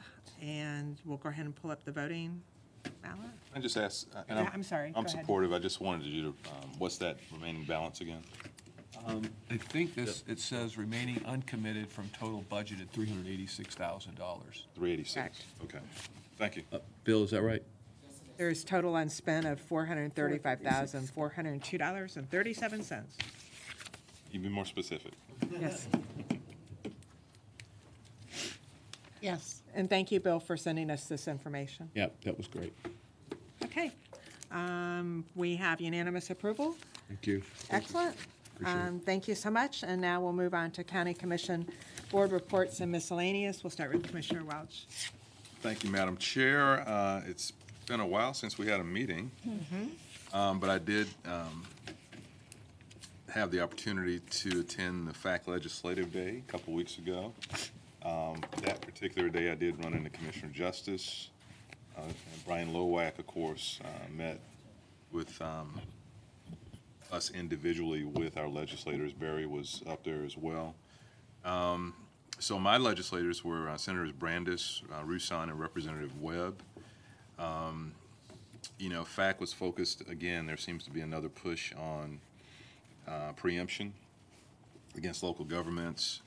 Uh, One of the bills would require a referenda like the penny for Pinellas to, uh, in the House version, require a supermajority of this commission to put it on the ballot, and then sixty-six percent of the public vote uh, for it to win. And of course, um, that's draconian. We're opposing that. The Senate version only asked uh, that it happens during a general election, which I think is much more reasonable. Um, Again, there were um, bills that would affect CRAs. Um, There was a bill that would uh, uh, affect the composition of the TDC. And I don't know if y'all had a chance to talk about that, Madam Chair, where um, if a, if a county had a population higher than nine hundred thousand, they could have more than one tourist development council. And uh, had a good uh, discussion with Senator Rouson on that one. And the way I'm reading it, and I haven't had a chance to talk with Brian, it seems like that decision would still be made by this commission. Uh, Even if we had that authority, this commission would still have to make the decision that we need more than one tourist development council. But, but Um, Commissioner Welch, it yes, doesn't, ma'am. it doesn't have a house companion, does it? I thought I saw one. I was just on the website now, so I thought I saw one, but I can't say hundred percent that it does. Um, so quite a few bills like that out there, but it was a productive day. I think our um, legislative team uh, from um, the Southern Strategies is doing a real good job uh, walking us through and staying on top of the process. Want to wish the best to Davin Suggs, our FAC legislative director, who had some health issues. I think he's out uh, until June 1st. So I want to send him prayers and uh, healing vibes as well. And then last night, I was uh, honored to join uh, our vice chair and Commissioner Justice Long and uh, Eggers, who I said was from Tarpon Springs. I only had 30 seconds on the mic, so I just was thinking North County and then said Tarpon. Um, with FAST, and we were celebrating this county's uh, continued commitment to affordable and workforce housing going back to 2006 with the original Affordable Housing Trust Fund, the 15 million for the land trust in this penny, and then the 82.5 that we've allocated in the next penny. Uh, it's a strong track record for this uh, county commission, and we wanted to thank FAST for their partnership. And uh, Forward Pinellas, I think, meets tomorrow, Mr. Chairman. Yep. And um, so that's all I have for today. Okay, thank you. you. Commissioner Peters. Thank you, Madam Chair. Um, It has been a while um, since we met last. Um, I I took some some staff, Lourdes and some staff went to Miami, and um, we um, toured some of the mental health providing, or programs that they're utilizing down in Miami. Uh, we had great conversations with Judge Leifman. He's really the driver down down there and um, some of their reform that they're doing. Most of their initiatives are going through the justice system, um, which may be different than what we're looking at, but they do have some uh, things that we could implement if we were to choose. Um, I also have quite a few um, tours coming up. We'll be going down to Sarasota tomorrow to tour their facility, Orlando later in the month to tour their facility. Um, interesting, I, was in Bermuda this weekend and actually went past the uh, mental hospital in Bermuda and had a long conversation with the residents there. And um, they do something completely different there. They don't have a stigma problem and they do a wellness center. So all their mental health facilities are wellness centers, and they open it up to the entire community to do yoga classes and kinds of health fitness classes, and people can check themselves in for mental health breaks. Um, they also do something similar to Baker Acts there, but it's it's very different, where it's uh, looked at very much as wellness, and it's connected to all kinds of physical and mental wellness everything program all in one facility. So it was kind of interesting that on my vacation I, I couldn't help myself but stop by the mental hospital there. But um, um, also I was in uh, Tallahassee as well uh, for the FACT days. Um, I met with everyone in our delegation except Senator Brandes. Um, but I also took the time to meet with uh, the Secretary of DOT, the Assistant Deputy uh, Attorney General, to talk about the new fentanyl in Pinellas County. Um, and I spent some time with um, DEP to discuss inlet management um, and some other water quality issues that um, I think are really important in Pinellas County. So um, it was kind of nice to meet with those folks. A lot of them are new, so I didn't know them. I had a meeting with the governor, but it got changed, so unfortunately I'll have to go back up there and, and get to know him a little better. Um, but it was been uh, really great. So I went to the Early Learning Coalition as well, and they're doing a strategy now to look at more uh, fundraising and sustainability without having to count uh, count on just government funding. Um, so I'm going to wish them a lot of luck in their new venture of trying to raise money. Um, but it's been a it's been a very busy month. Thank you. Commissioner Justice. Thank you, Madam Chair. Um, For the board's uh, Area Agency on Aging, on April 26th, the annual lunch, annual meeting and luncheon will be held at the Largo Performing Arts Center. Uh, You should have received an invitation for that. Uh, uh, Hopefully, if you're able, you will attend. Um, The Gulf Consortium, uh, we met in Tallahassee as part of the uh, Association of Counties Week, and uh, we have had the first real vote on actually expending some funds. And in that first list is $1.2 million that will come to Pinellas County for our, to contribute to the Lake Seminole project. So uh, how many years later after the BP we'll see some of the actual environmental impacts uh, funds spent in Pinellas County? Historic preserv, and the next meeting will be uh, also associated with the FAC meeting in uh, Orlando uh, with the annual uh, FAC meeting. Historic preservation, um, our last meeting was held at the Reba Sutton White Chapel, and we got official signage and designation of that property uh, for historic significance. And we had some of the Sutton family uh, there, and it was a very special day for the family to see the, the monument go up. Um, we had a first look at a review for a certificate of appropriateness for the old J.C. Craver General Store which became the Masonic Lodge on Florida Avenue. Uh, There's a new, an owner of the property who wants to do some improvements there. Uh, So we did a first review of that, and we will do a, a final approval at our April meeting. Um, Also, in the historic preservation area, uh, we did receive a state grant, which was used for a uh, first initial survey of historic properties in the Lealman community. And we're also currently applying for a grant that will help us with a survey of historic bridges in Pinellas County. So some neat things going on there. Homeless Leadership Board, we met last week. Uh, The primary discussion, and um, uh, let me thank you again for appointing me to that committee. Um, The primary. For serving.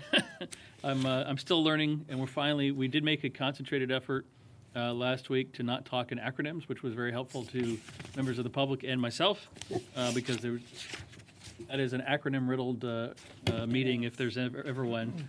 But a lot of the talk and the most of the, the meeting was spent around setting the priorities of uh, target populations for our HUD funding. So there was a decision on that as far as our HUD application. Um, so that was decided. Um, Stormwater Wastewater Task Force, our uh, next meeting will be May 23rd at SPC Seminole, and that will have a presentation and update uh, for the public. Uh, Gulf Consortium, surface water. Um, Just some of the community events that have uh, happened that I think many of us have been attending. Uh, The firefighters MDA Chili Blaze, uh, Commissioner Welch and I were there, Commissioner Peters, and most of us survived that evening.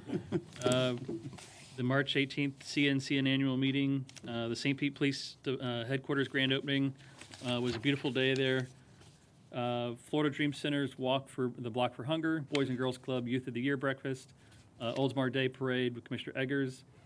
Uh, had the privilege of speaking with the CONA, which is Council of Neighborhood Associations in St. Petersburg, their leadership program last week, and um, filled in for Commissioner Long at the Military Order of World Wars Clearwater chapter in Belleair last week. And uh, if you have a chance to uh, go to that lunch and meet with those folks, uh, it is a time that you will not regret. Uh, I sat next to a gentleman who was uh, the sharpest guy in the room, but uh, at 22 he flew into Normandy, uh, and he had some incredible stories to share with the with the group, and just a really special group. Uh, also attended the Business Professional Women's Unhappy Hour, and also with Fast last night.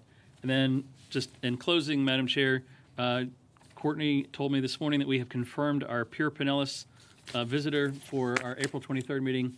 And uh, Mr. Brosey might need some extra work uh, to set that preparation up, but uh, it's going to be a good one, so. Oh, good. I'm Thank looking you. forward to it. They've all been great so far, so, um, and it's giving us all good Yeah. history lessons and um, more knowledge of what's available in Pinellas County. So thank you very much. Yes, ma'am. Uh, Commissioner Gerard?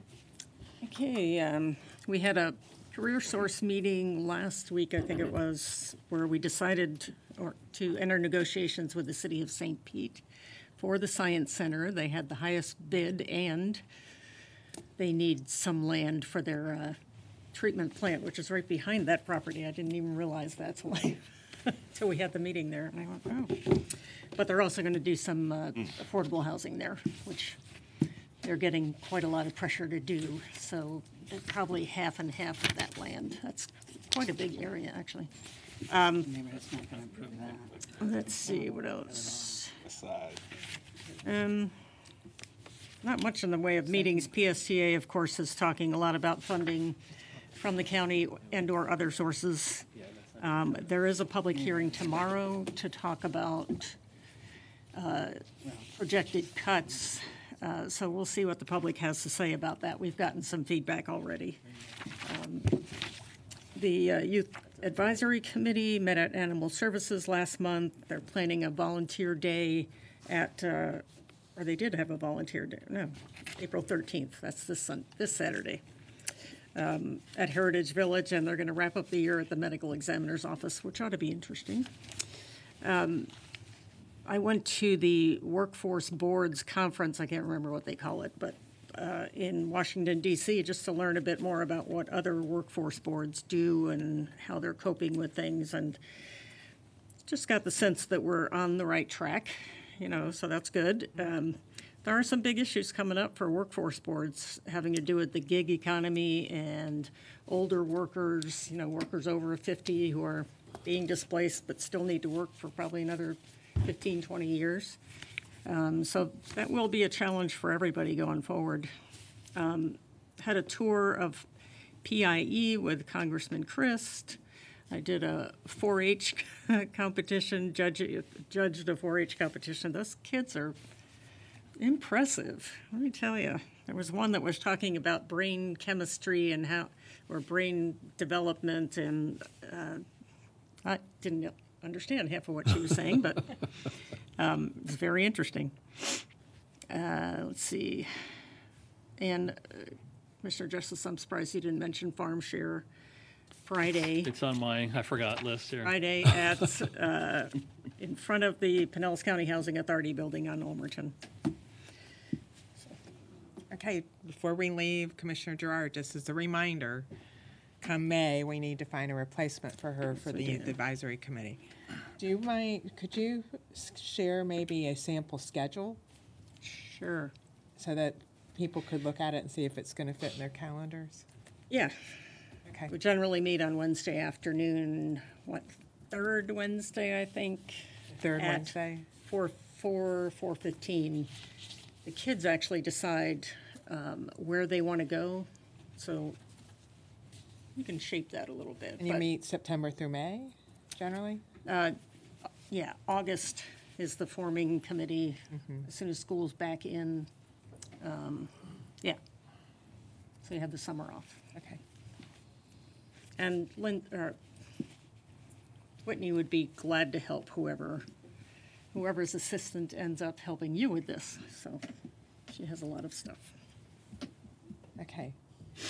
Very good. Um, Commissioner Eggers? Thank you. Um, yeah, First of all, our Forward Pinellas meeting is tomorrow, so at the next commission meeting, I'll give an update on, on what we kind of get into Can I? tomorrow. Thank you so much for sending us those summaries. That helps. Did it? Yeah, Okay, good. 'cause Then we'll continue to do aren't that after. sitting there, yeah. After each meeting, we, uh, they do a good job of pulling that together, so I think it's probably a lot better to kind of look through that. And if you have any questions, certainly you can bring them up here if you'd like. Um, At my VA, this, or my, we call it Community Veteran Engagement Board, um, I had asked that we take a look at uh, the work that we had done uh, determining the location of the Purple Heart Monument. Um, And you'd be glad to know that uh, the board there, uh, that has a lot of members from, you know, Purple Heart community and different groups, uh, said that they uh, liked the, the location that was chosen. I'm sure that'll be coming back to the commission more formally, but, um, so they were supportive of the process and also of the location down next to uh, the VA. So just wanted to pass that along, among other things that we discussed.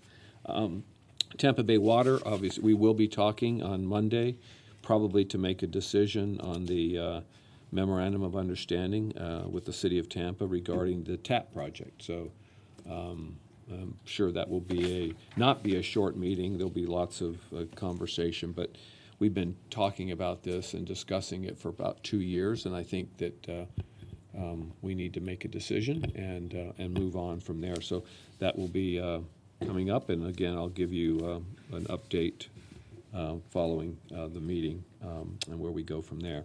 Um, We had a meeting of our TMA this past Friday. It was really good. We went, uh, tried to get out of there right at noon, but we talked about a, a, lot of things, including um, how we're going to deal with regional priorities. Uh, We did approve uh, for this year the I-275, I-60 uh, West Shore interchange as our first one, but I-75 interchange at Gibsonton, I-75 interchange overpass at Overpass, Central Avenue Bus Rapid Transit, and I-275 operational improvements uh, north of the downtown Tampa area. So uh, there was a lot of discussion about the, uh, the Central Avenue Bus Rapid Transit, and I thought staff um, did a really good job to, to explain the process that we've been going through to get to the point we have, and maybe you can talk about that a little bit more. But I think people were generally uh, comfortable. Uh, the the regional look at that regional project, I think people were very comfortable with where we are in that process. So um, it was a good it was a good meeting uh, from the board,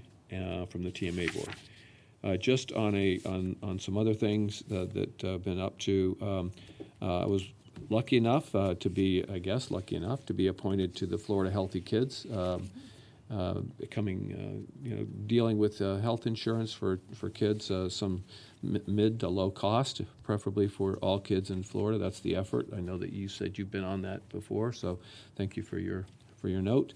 Um, We'll be going up there next Wednesday to, to meet with the folks and get indoctrinated. There's a strategic planning me- meeting in uh, Orlando next month uh, to discuss the new direction, uh, continued direction and new direction of new board, a new chairman of the board, so, of- of, of that board. So there's going to be a lot of activity. I'm, I'm excited to, to get involved with that. Um, You mentioned the Old Smart Day Parade. Uh, was, uh, was really good. Also had a, a visit from Ann Vanek um, Dasovich, anyway, from the SELF program um, uh, that they're utilizing down in St. Petersburg, and uh, found it to be interesting and certainly um, I, I certainly liked what I heard uh, an awful lot. And the issues that I've been having with the PACE program certainly don't have it with that program. And I know we'll be having more discussion about that uh, coming forward. And the last thing I wanted to touch on is that um, um, Elisa Nelson uh, was, uh, was killed uh, back in the early 80s. Um, and uh, walking to school one day, I think, uh, um, I can't remember what time of the year, but it doesn't really matter. Um, and she was abducted and, and, and, and killed. And so years later, the family has uh, got some uh, comfort in the uh, through through the judicial judicial system. Uh, um, but in any event, they've created this Eli- Elisa's Greatest Wish group, and uh, and in its first four years, just so you know, they've raised over five hundred thousand dollars for causes in the community that um, a lot of you know for, they'll give some funding to the Girl Scouts that you know a lot of groups that are dedicated to the kids kids programs. Um, and um, last year they raised ninety thousand dollars. The race is this Saturday the 5K is at 8 o'clock and yours truly I'm going to try to trudge around that course and not, not embarrass the commission, but I'm looking forward to that. Um, they have generally about 900, had last year 900 that entered the race, and they had over 100 volunteers. This race is becoming bigger and bigger. They do it at Walsingham. Um, probably too, I don't know if it's too late to do it online or register online, but you can certainly do it at 6.30 in the morning um, on uh, this, this Saturday. The race starts, uh, 5K starts at 8 o'clock, and I think there's a one-mile walk, jog, whatever, um, at 9 o'clock. So, and it's a full day of activities and all really focusing on uh, the groups that come forward looking for funding uh, from the Elisa's Greatest Wish Foundation. So, great organization. Uh, and uh, yeah, you probably heard by now that the school board uh, did vote to rename the elementary school, the new elementary school in Palm Harbor, after her. So, a lot of folks gave input. A lot of people were there at the, at the meeting. I talked to a school board member, and there was other issues that were being considered, uh, and I'm, I'm glad they thought through all of it. But in the end, I think it was a unanimous choice to, to rename the school. So, um, really, that's all I have today. Thank you. Okay, Thank you. Commissioner Long. Yes, thank you, Madam Chair. Well, um, first of all, I was in Tallahassee this week and did not go with back because I had already been scheduled to go up this week. On Tuesday, we, last week, I mean, we had 16 meetings on Tuesday while we were in the Capitol, and it was an exhausting but very productive day. We were very well received. Um, primarily, my focus while I was there was transportation, and especially as it related to T-BARTA. We did not have a board meeting in March, but we do have one coming up this month with some very important issues that we will be discussing. Our appropriation request for 1.5 million for T-BARTA has morphed now into 4.8 because there are several other projects that instead of doing line items that have been requested from various places around the region, and instead of doing line items, they're put, lumping it all together and running it through T-BARTA. And um, the ultimate number for that appropriation, of course, will be decided during conference. Our amendments that we offered to help make the board process easier with regard to um, the requirement for quorums and people actually being present, et cetera, are all being very favorably received and are moving forward.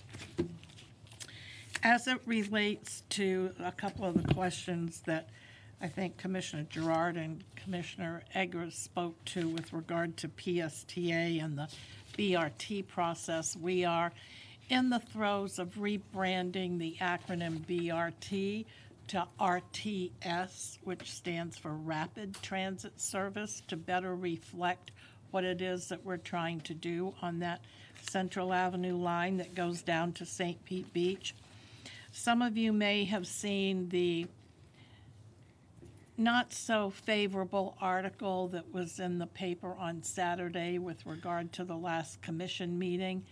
And um, Mr. Miller and I are going to St. Pete Beach Council meeting tonight to um, correct the public agenda with regard to information that was thrown out there during the meeting about the lack of transparency with regard to our federal application.